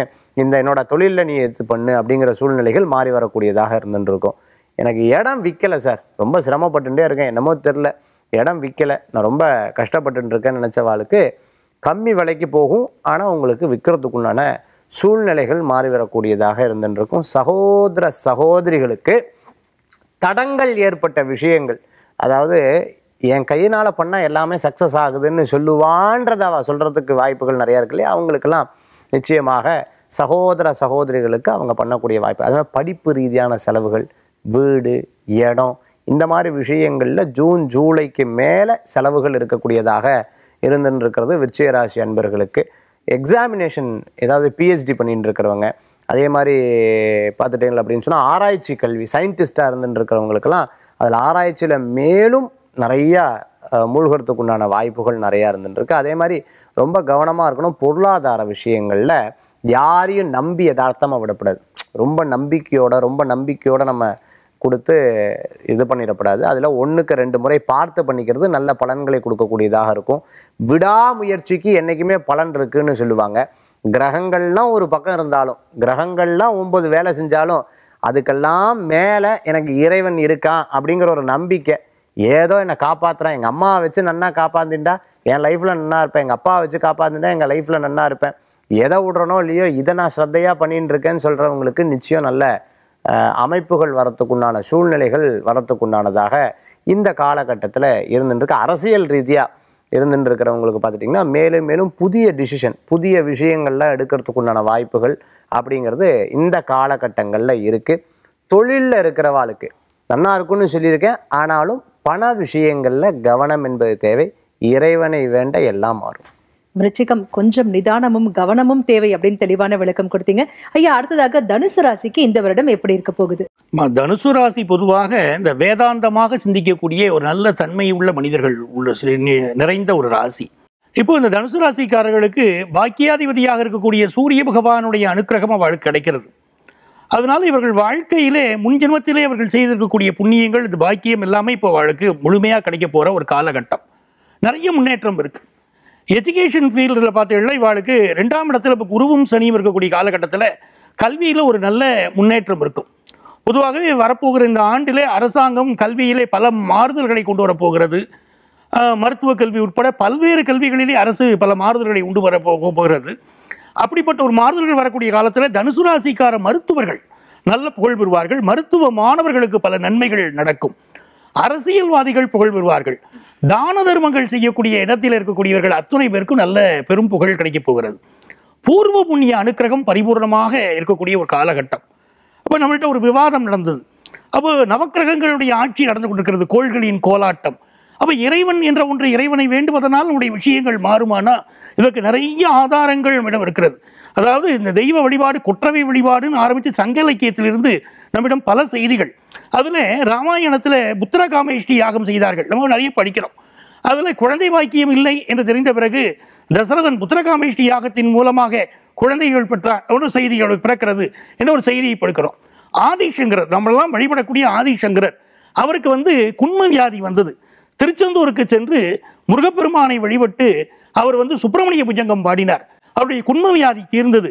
ஆகவே தான் ஞானசம்பந்தர் எழுதினார் ஆசரு நல்ல நல்ல அவை நல்ல நல்ல அடியார் அவருக்கு மிகவே இந்த கிரகங்கள் எவ்வளவு தீயதை செய்வதாக இருந்தாலும் இறைவனுடைய சிவபெருமானுடைய அனுக்கிரகம் இருந்தால் அந்த பாவங்கள் விலகும் என்று சொன்னார். இந்த கிரகங்கள் எல்லாம் ஹைகோர்ட் தான் சுப்ரீம் கோர்ட் தான் சிவபெருமான். அவரை நமஸ்காரம் பண்ணினா ஹைகோர்ட்டுடைய தீர்ப்பை தள்ளுபடி பண்ணக்கூடிய உரிமை கூட தீர்ப்பை மாற்றக்கூடிய உரிமை கூட இந்த சுப்ரீம் கோர்ட்டுக்கு உண்டு. அப்படி பார்த்தீர்களானால் அதுக்கு பேர் தான் விதி. நம்முடைய ஜாதகம் இருக்கு இல்லையா? அதனுடைய விதி. லக்னத்தின் அடிப்படையிலே பார்க்கிறோம். இந்த கோச்சாரம் இருக்கிறது இல்லையா? இது மதி. இது எப்படி ஆகிறது என்றால் ஒரு ஜாதகத்து ஒரு சூழ்நிலை சரியில்லை. இந்த மதியின் அடிப்படையிலே குரு பகவானுடைய பார்வை விழுகிறது. அப்போ நம்முடைய பிரச்சனைகள் தீரக்கூடிய காலகட்டம். இந்த காலகட்டத்தில் பரிகாரங்கள் செய்தால் நாம் தப்பித்துக் கொள்ள முடியும். அதைத்தான் நம்முடைய ஜாதக தத்துவம் சொல்கிறது. நாம் பிறந்த ஜாதகம் முக்கியம். இந்த கோச்சார பலன்கள் என்ற மதியம் முக்கியம். இரண்டும் இணைகிற போது நம்ம வாழ்க்கை சிறக்கிறது. அப்படி தனுசு ராசிக்காரர்களுக்கு பார்த்தீங்கன்னா நல்ல கல்வி அமையக்கூடிய ஒரு காலகட்டம். நல்ல சொத்து சுகம் பார்க்கக்கூடிய காலகட்டம். பூர்வ புண்ணியத்திலே செவ்வாய் பகவான் ஆதிக்கமாக இருக்கிறார். ஆகவே இவர்களுடைய பூர்வ ஜென்ம அனுக்கிரகம் பரிபூரணமாக கிடைக்கிறது. பிரிந்தவர்கள் மீண்டும் சேர்கிறார்கள். அது நல்ல விஷயம். வியாபாரத்தில் ஒரு நல்ல முன்னேற்றம் ஏற்படுகிறது. குடும்ப வாழ்க்கையில் குதர்க்கங்களை தவிர்க்கணும். அனாவசிய வாக்குவாதங்கள் குதர்க்கங்களை தவிர்த்தால் குடும்ப வாழ்க்கை மிக இனிமையாக இருக்கும். பெண்களுக்கு முன்னேற்றம் தரக்கூடிய ஒரு ஆண்டு. அவர்கள் கல்வியிலே வேலை வாய்ப்பிலே நல்ல முன்னேற்றங்களை இந்த காலகட்டத்திலே பெறப்போகிறார்கள். ஆக மிகச்சிறந்த முன்னேற்றங்கள் வரக்கூடிய ஒரு காலகட்டம் என்று சந்தேகமில்லை. அதே நேரத்திலே செவ்வாயுடைய வீட்டிலே பன்னிரெண்டாம் இடத்திலே கேது பகவான் இருப்பது நாம் கணக்கில் எடுத்துக்கணும். இந்த தனுசு ராசி அன்பர்கள் யாரெல்லாம் வந்து இரண்டாம் இடத்தில் சனி பகவான் வேறு இருக்கார் நீதிக்கு புறம்பான செயல்களில் ஈடுபடக்கூடியவர்களுக்கு சில தண்டனைகள் வரலாம். இந்த காலகட்டத்தில் நாம் விடாது தெய்வ வழிபாடு செய்து கொண்டிருந்தால் தனுசு ராசிக்காரர் அன்பர்களுக்கு மிகச்சிறந்த மேன்மைகள் உருவாகும் என்பது திண்ணம். தனுசை உன்னுடைய இலக்கை சரியாக கவனித்து அம்பை எய்து அப்படின்னு அழகான விளக்கம் கொடுத்தீங்க. ஐயா மகர ராசிக்கு இந்த வருடம் எப்படி இருக்க போகுது? மகரம் ராசியை பொறுத்தளவுக்கு தற்சமயம் ஜென்மச்சனி அப்படிங்கிற ஒரு அதிகாரம் வந்துகிட்டு இருந்தால் கூட இந்த புத்தாண்டு ராசிப்படி கிரக பயிற்சிப்படி வந்து பார்த்தீங்கன்னா மகரத்துக்கு நிகரமில்லைன்னு சொல்லக்கூடிய அளவுக்கு ஓரளவு உன்னதமான நிலைகளை தொடக்கூடிய பாக்கியம் அதிகமாகவே இருந்துட்டு இருக்கும். என்னை பொறுத்தளவுக்கு தகரத்தை கூட தங்கமாக்கி காட்டக்கூடிய வலிமை இந்த மகர ராசிக்கு யதார்த்தமாக வந்துட்டு இருக்கும் நிறைய பேருக்கு. அந்த யதார்த்தமாக இருக்கிறது நல்லது இயல்பாக இருக்கிறது நல்லது அதற்கான முயற்சி செய்கிறது நல்லது ஒரு விஷயத்தை அடையணும் அப்படின்னா அதற்கு எந்த வழியாவது நம்ம கடைப்பிடிக்கிறது நல்லதாக இருந்துட்டு இருக்கலாம். ஆனால் அது வந்து நல்ல வழியாக இருந்தது அப்படின்னா கடந்த காலங்களில் நீங்கள் நல்ல வழியை பின்பற்றி இருந்தீங்க அப்படின்னா நல்ல வகையில் வந்து முயற்சி பண்ணியிருந்தீங்க அப்படின்னா அந்த நல்லதுக்கு உண்டான பலன் கிடைக்கக்கூடிய பாக்கியம் இந்த வருஷம் அதிகமாக வந்துட்டு இருக்கும் புத்தாண்டு பயிற்சி பலன் பொறுத்தளவுக்கு. பொதுவாகவே வந்து பார்த்தீங்கன்னா மகர ராசியில் வந்து பார்த்தீங்கன்னா சாதாரண உடம்பு சொல்கிறோம் இல்லையா? உழைச்சா தான் உடம்பு நல்லா இருக்கும்னு சொல்லுவோம். உழைக்க முடியாதவங்க நடந்துட்டா அது காலையில் ஓடுன்னு சொல்லுவோம். இது உடற்பயிற்சிங்கிற பேரில் ஒரு ஃபேஷனாக வந்திருக்கு ரெண்டாவது. ஆனால் சாதாரண உடம்புக்கு கூட வந்தீங்கன்னா உங்களுடைய உடல் உறுப்பு சரியாக இயங்கணும் அப்படின்னா உடற்பயிற்சி செய்ய அல்லது உழைப்பை கொடுன்னு சொல்லியிருக்குது. அதே மாதிரி உங்களுடைய மைண்டு அதாவது உங்களுடைய மனசு அறிவு உள்ளமெல்லாம் தெளிவாக இருக்கணும் அப்படின்னா அதற்கு வந்து திரும்ப திரும்ப சிந்தனை பண்ணுன்னு சொல்லியிருக்கு. அந்த அந்த மாதிரி சிந்தனை பண்ணக்கூடிய அமைப்பில் அதிகமாக இருந்துகிட்டு இருந்தீங்க அப்படின்னா உடல் உழைப்பை விட அதாவது கடந்த காலங்களிலிருந்து இந்த காலத்து வரைக்கும் பாருங்கள் எந்த கிரகம் எங்கே பயிற்சி ஆனாலும் சரி எந்த வருஷம் எப்படி இருந்தாலும் சரி கடந்த காலங்களில் உழைப்பை மட்டுமே அதிகமாக கொடுத்தவங்களை விட தன்னுடைய உள்ளத்தில் வந்து அதை மன அதாவது மைண்ட் ரீதியாக அதாவது அறிவு ரீதியாக வந்து நம்ம முயற்சி பண்ணவங்க அதிகமாக சம்பாதிச்சிருக்காங்க அப்படின்ட்டு.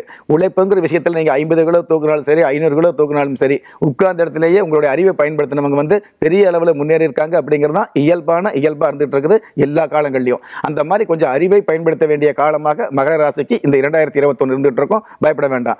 இருந்தாலும் குழப்பத்தை கொடுக்கக்கூடிய அதாவது உங்களுடைய ஜென்ம ராசியிலேயே சனி பகவான் இருக்கிறதுனால ஜென்மத்தில் சனி பகவான் இருந்தால் குழப்பம் அப்படிங்கிற விஷயத்தை வந்து சாஸ்திரம் கொடுத்துருக்கு.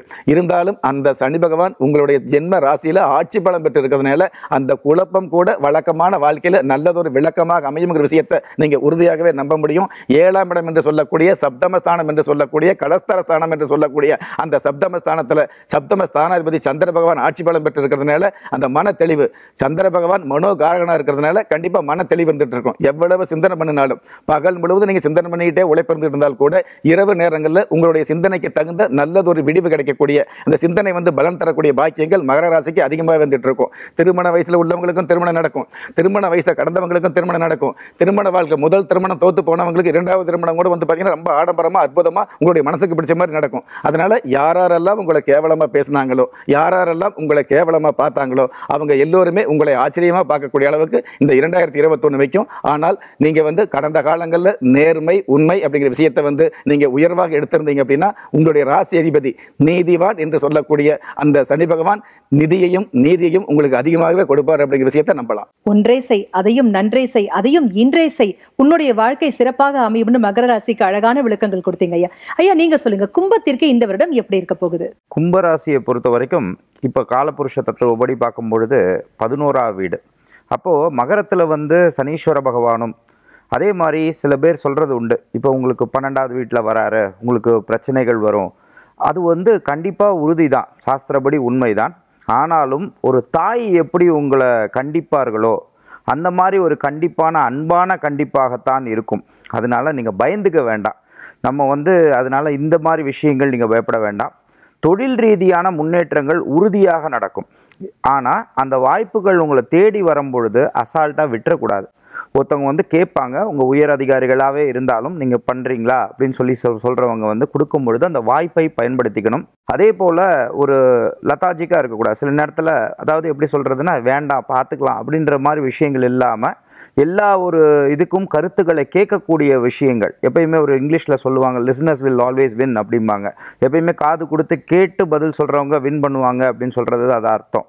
அப்படிங்கும் பொழுது கொஞ்சம் காது கொடுத்து கேட்டு என்ன சொல்ல வராங்கன்றதை புரிஞ்சுண்டு நீங்கள் பண்ணக்கூடிய விஷயங்கள் வெற்றியை கொடுக்கும். அதே போல் ஆணாக இருக்கிறவங்க பெண்கள் விஷயத்தில் கவனமாக இருக்கிறதும் பெண்களாக இருக்கிறவங்க ஆண்கள் விஷயத்தில் கவனமாக இருக்கிறதும் இந்த மாதிரி விஷயங்கள் நீங்கள் கவனமாக இருந்தால் குடும்ப வாழ்க்கையில் பிரச்சனை இல்லாமல் இருக்கும். திருமணம் இருக்க வாய்ப்புகள் இருக்கிறவங்களுக்கு திருமணம் உறுதியாக நடக்கும்.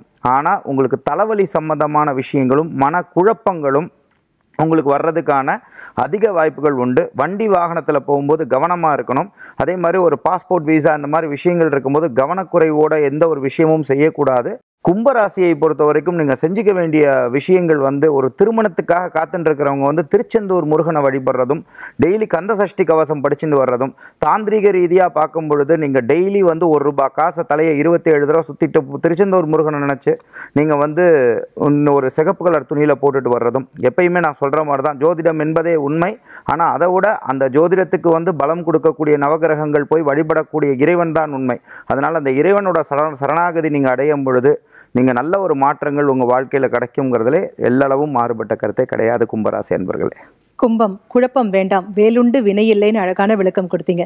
ஐயா பனிரெண்டாவது ராசியான மீன ராசிக்கு இந்த வருடம் எப்படியெல்லாம் இருக்க போகுது? மீனராசி என்பவர்களுக்கு பெயர்ச்சி என்பது விரய லாபாதிபதி என்று சொல்லக்கூடிய சனி பகவான் கர்மத்தில் இருந்து நிறைய வீழ்ச்சியை சந்தித்திருந்தாலும் வளர்ச்சியை சந்திக்கக்கூடிய அமைப்பிலே உபஜயஸ்தானம் என்று சொல்லக்கூடிய பதினோராம் இடம் லாபத்தில் லாபாதிபதி அமர்ந்திருப்பது ஒரு வரவேற்கத்தக்க உன்னதமான இடத்தில் இந்த சனி பயிற்சி ஆகியிருக்கிறது. அது மட்டுமல்லாமல் ரெண்டாயிரத்தி இருபத்தொன்று காலத்திலே இரண்டரை ஆண்டுகள் சங்கமிக்கக்கூடிய இந்த சனி பயிற்சி மீனராசி என்பர்களுக்கு அற்புதம் என்றே சொல்லலாம்.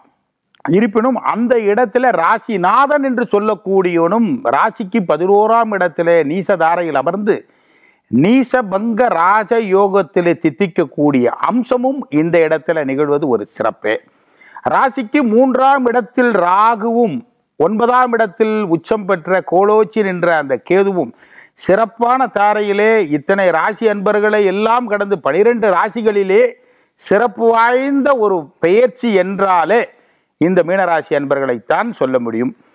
இதுவரையில் இருந்து வந்த வம்பு தும்பு வழக்கு சிக்கல்கள் பிரச்சனைகள் வியாகுலங்கள் கடன் பிரச்சனைகள் எல்லாவற்றுக்கும் முற்றுப்புள்ளி வைக்கக்கூடிய அளவிலே தான் இந்த பயிற்சி இந்த மீனராசி என்பவர்களுக்கு சனி பயிற்சி ரெண்டாயிரத்தி இருபத்தொன்று அது மட்டும் அல்லாமல் திருமண ரீதியாக பிரச்சனைகள் இருந்தவர்களுக்கு தடை இருந்தவர்களுக்கும் சரி புத்திர பாக்கியம் கிடைக்காத அன்பர்களுக்கு புத்திர பாக்கியம் வேலை வாய்ப்பு ரீதியாக தடைக்கற்களில் எட்டா கனி போன்று இருந்தவர்களுக்கு எட்டக்கூடிய கனி இந்த பயிற்சி சாதகத்தாரையில் இருக்கிறது.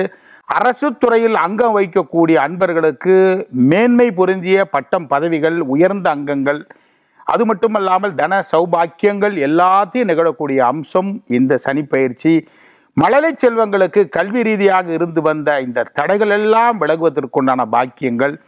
வீடு நிலங்கள் கட்டி பாதியிலேயே நிலுவையில் இருக்கக்கூடியவர்களுக்கெல்லாம் தங்கு தடை இல்லாமல் இந்த சனி பார்வை இந்த நாலாம் இடத்தை ராசிக்கு நாலாம் இடத்தை பார்த்து தடையாக இருந்ததெல்லாம் விலகுவதற்குண்டான அம்சம் நல்ல செழிப்பு நல்ல ஒரு உயர்வு சிறப்பு சிறப்பு என்று சொன்னாலே மீனராசி என்பவர்களுக்கு சொல்லிவிடலாம். இருப்பினும் ஜனன ஜாதகத்தில் சிறப்பான கோள்கள் கோடோச்சி நின்றால் எவ்வளவு பெரிய இழப்பீடுகள் இருந்தாலும் உயர்வைத்தான் இந்த சனிப்பயிற்சி இவர்களுக்கு கொடுக்கும். இந்த வருடம் ஒரு திருப்பு முறையான வருடமாக ரெண்டாயிரத்தி ஒன்று இருபத்தொன்று இருப்பது சந்தேகமில்லை. மீனராசி பலே பலே பேஷ் அப்படின்னு சொன்னீங்க. இந்த இரண்டாயிரத்தி இருபத்தி ஓராம் வருடம் பாமரர் முதல் பகவான் வரை ஒவ்வொருத்தருக்கும் எப்படி இருக்க போகுதுன்னு அழகான விளக்கங்களை ரொம்ப அழகா பட்டியலிட்டு விளக்கி சொன்னீங்க. மீண்டும் ஒருமுறை உங்கள் ஐவருக்கும் இனிய புத்தாண்டு நல்வாழ்த்துக்கள். நன்றி. வாழ்க்கையே போர்க்களம். வாழ்ந்துதான் பார்க்கணும். போர்க்களம் மாறலாம் போர்கள்தான் ஓயுமா? ஏற்றம் தாழ்வு வெற்றி தோல்வி என்று வாழ்க்கை சர்க்கரம் சுழன்று கொண்டே இருக்கிறது. மறவாதே அதில்தான் சரித்திரங்களும் சாதனைகளும் நிகழ்த்தப்பட்டு கொண்டிருக்கிறது. துணிந்து போராடித்தான் பார்ப்போமே அந்த வெற்றி கணியை நம்மால் மட்டும் எட்டி பறிக்க முடியாதா என்ன? நிச்சயம் முடியும். மீண்டும் ஒருமுறை அன்பு நேர்கள் அனைவருக்கும் இனிய புத்தாண்டு நல்வாழ்த்துக்கள். சர்வேஜனா சுகினோபவந்து வாழ்க வளமுடன். நன்றி வணக்கம்.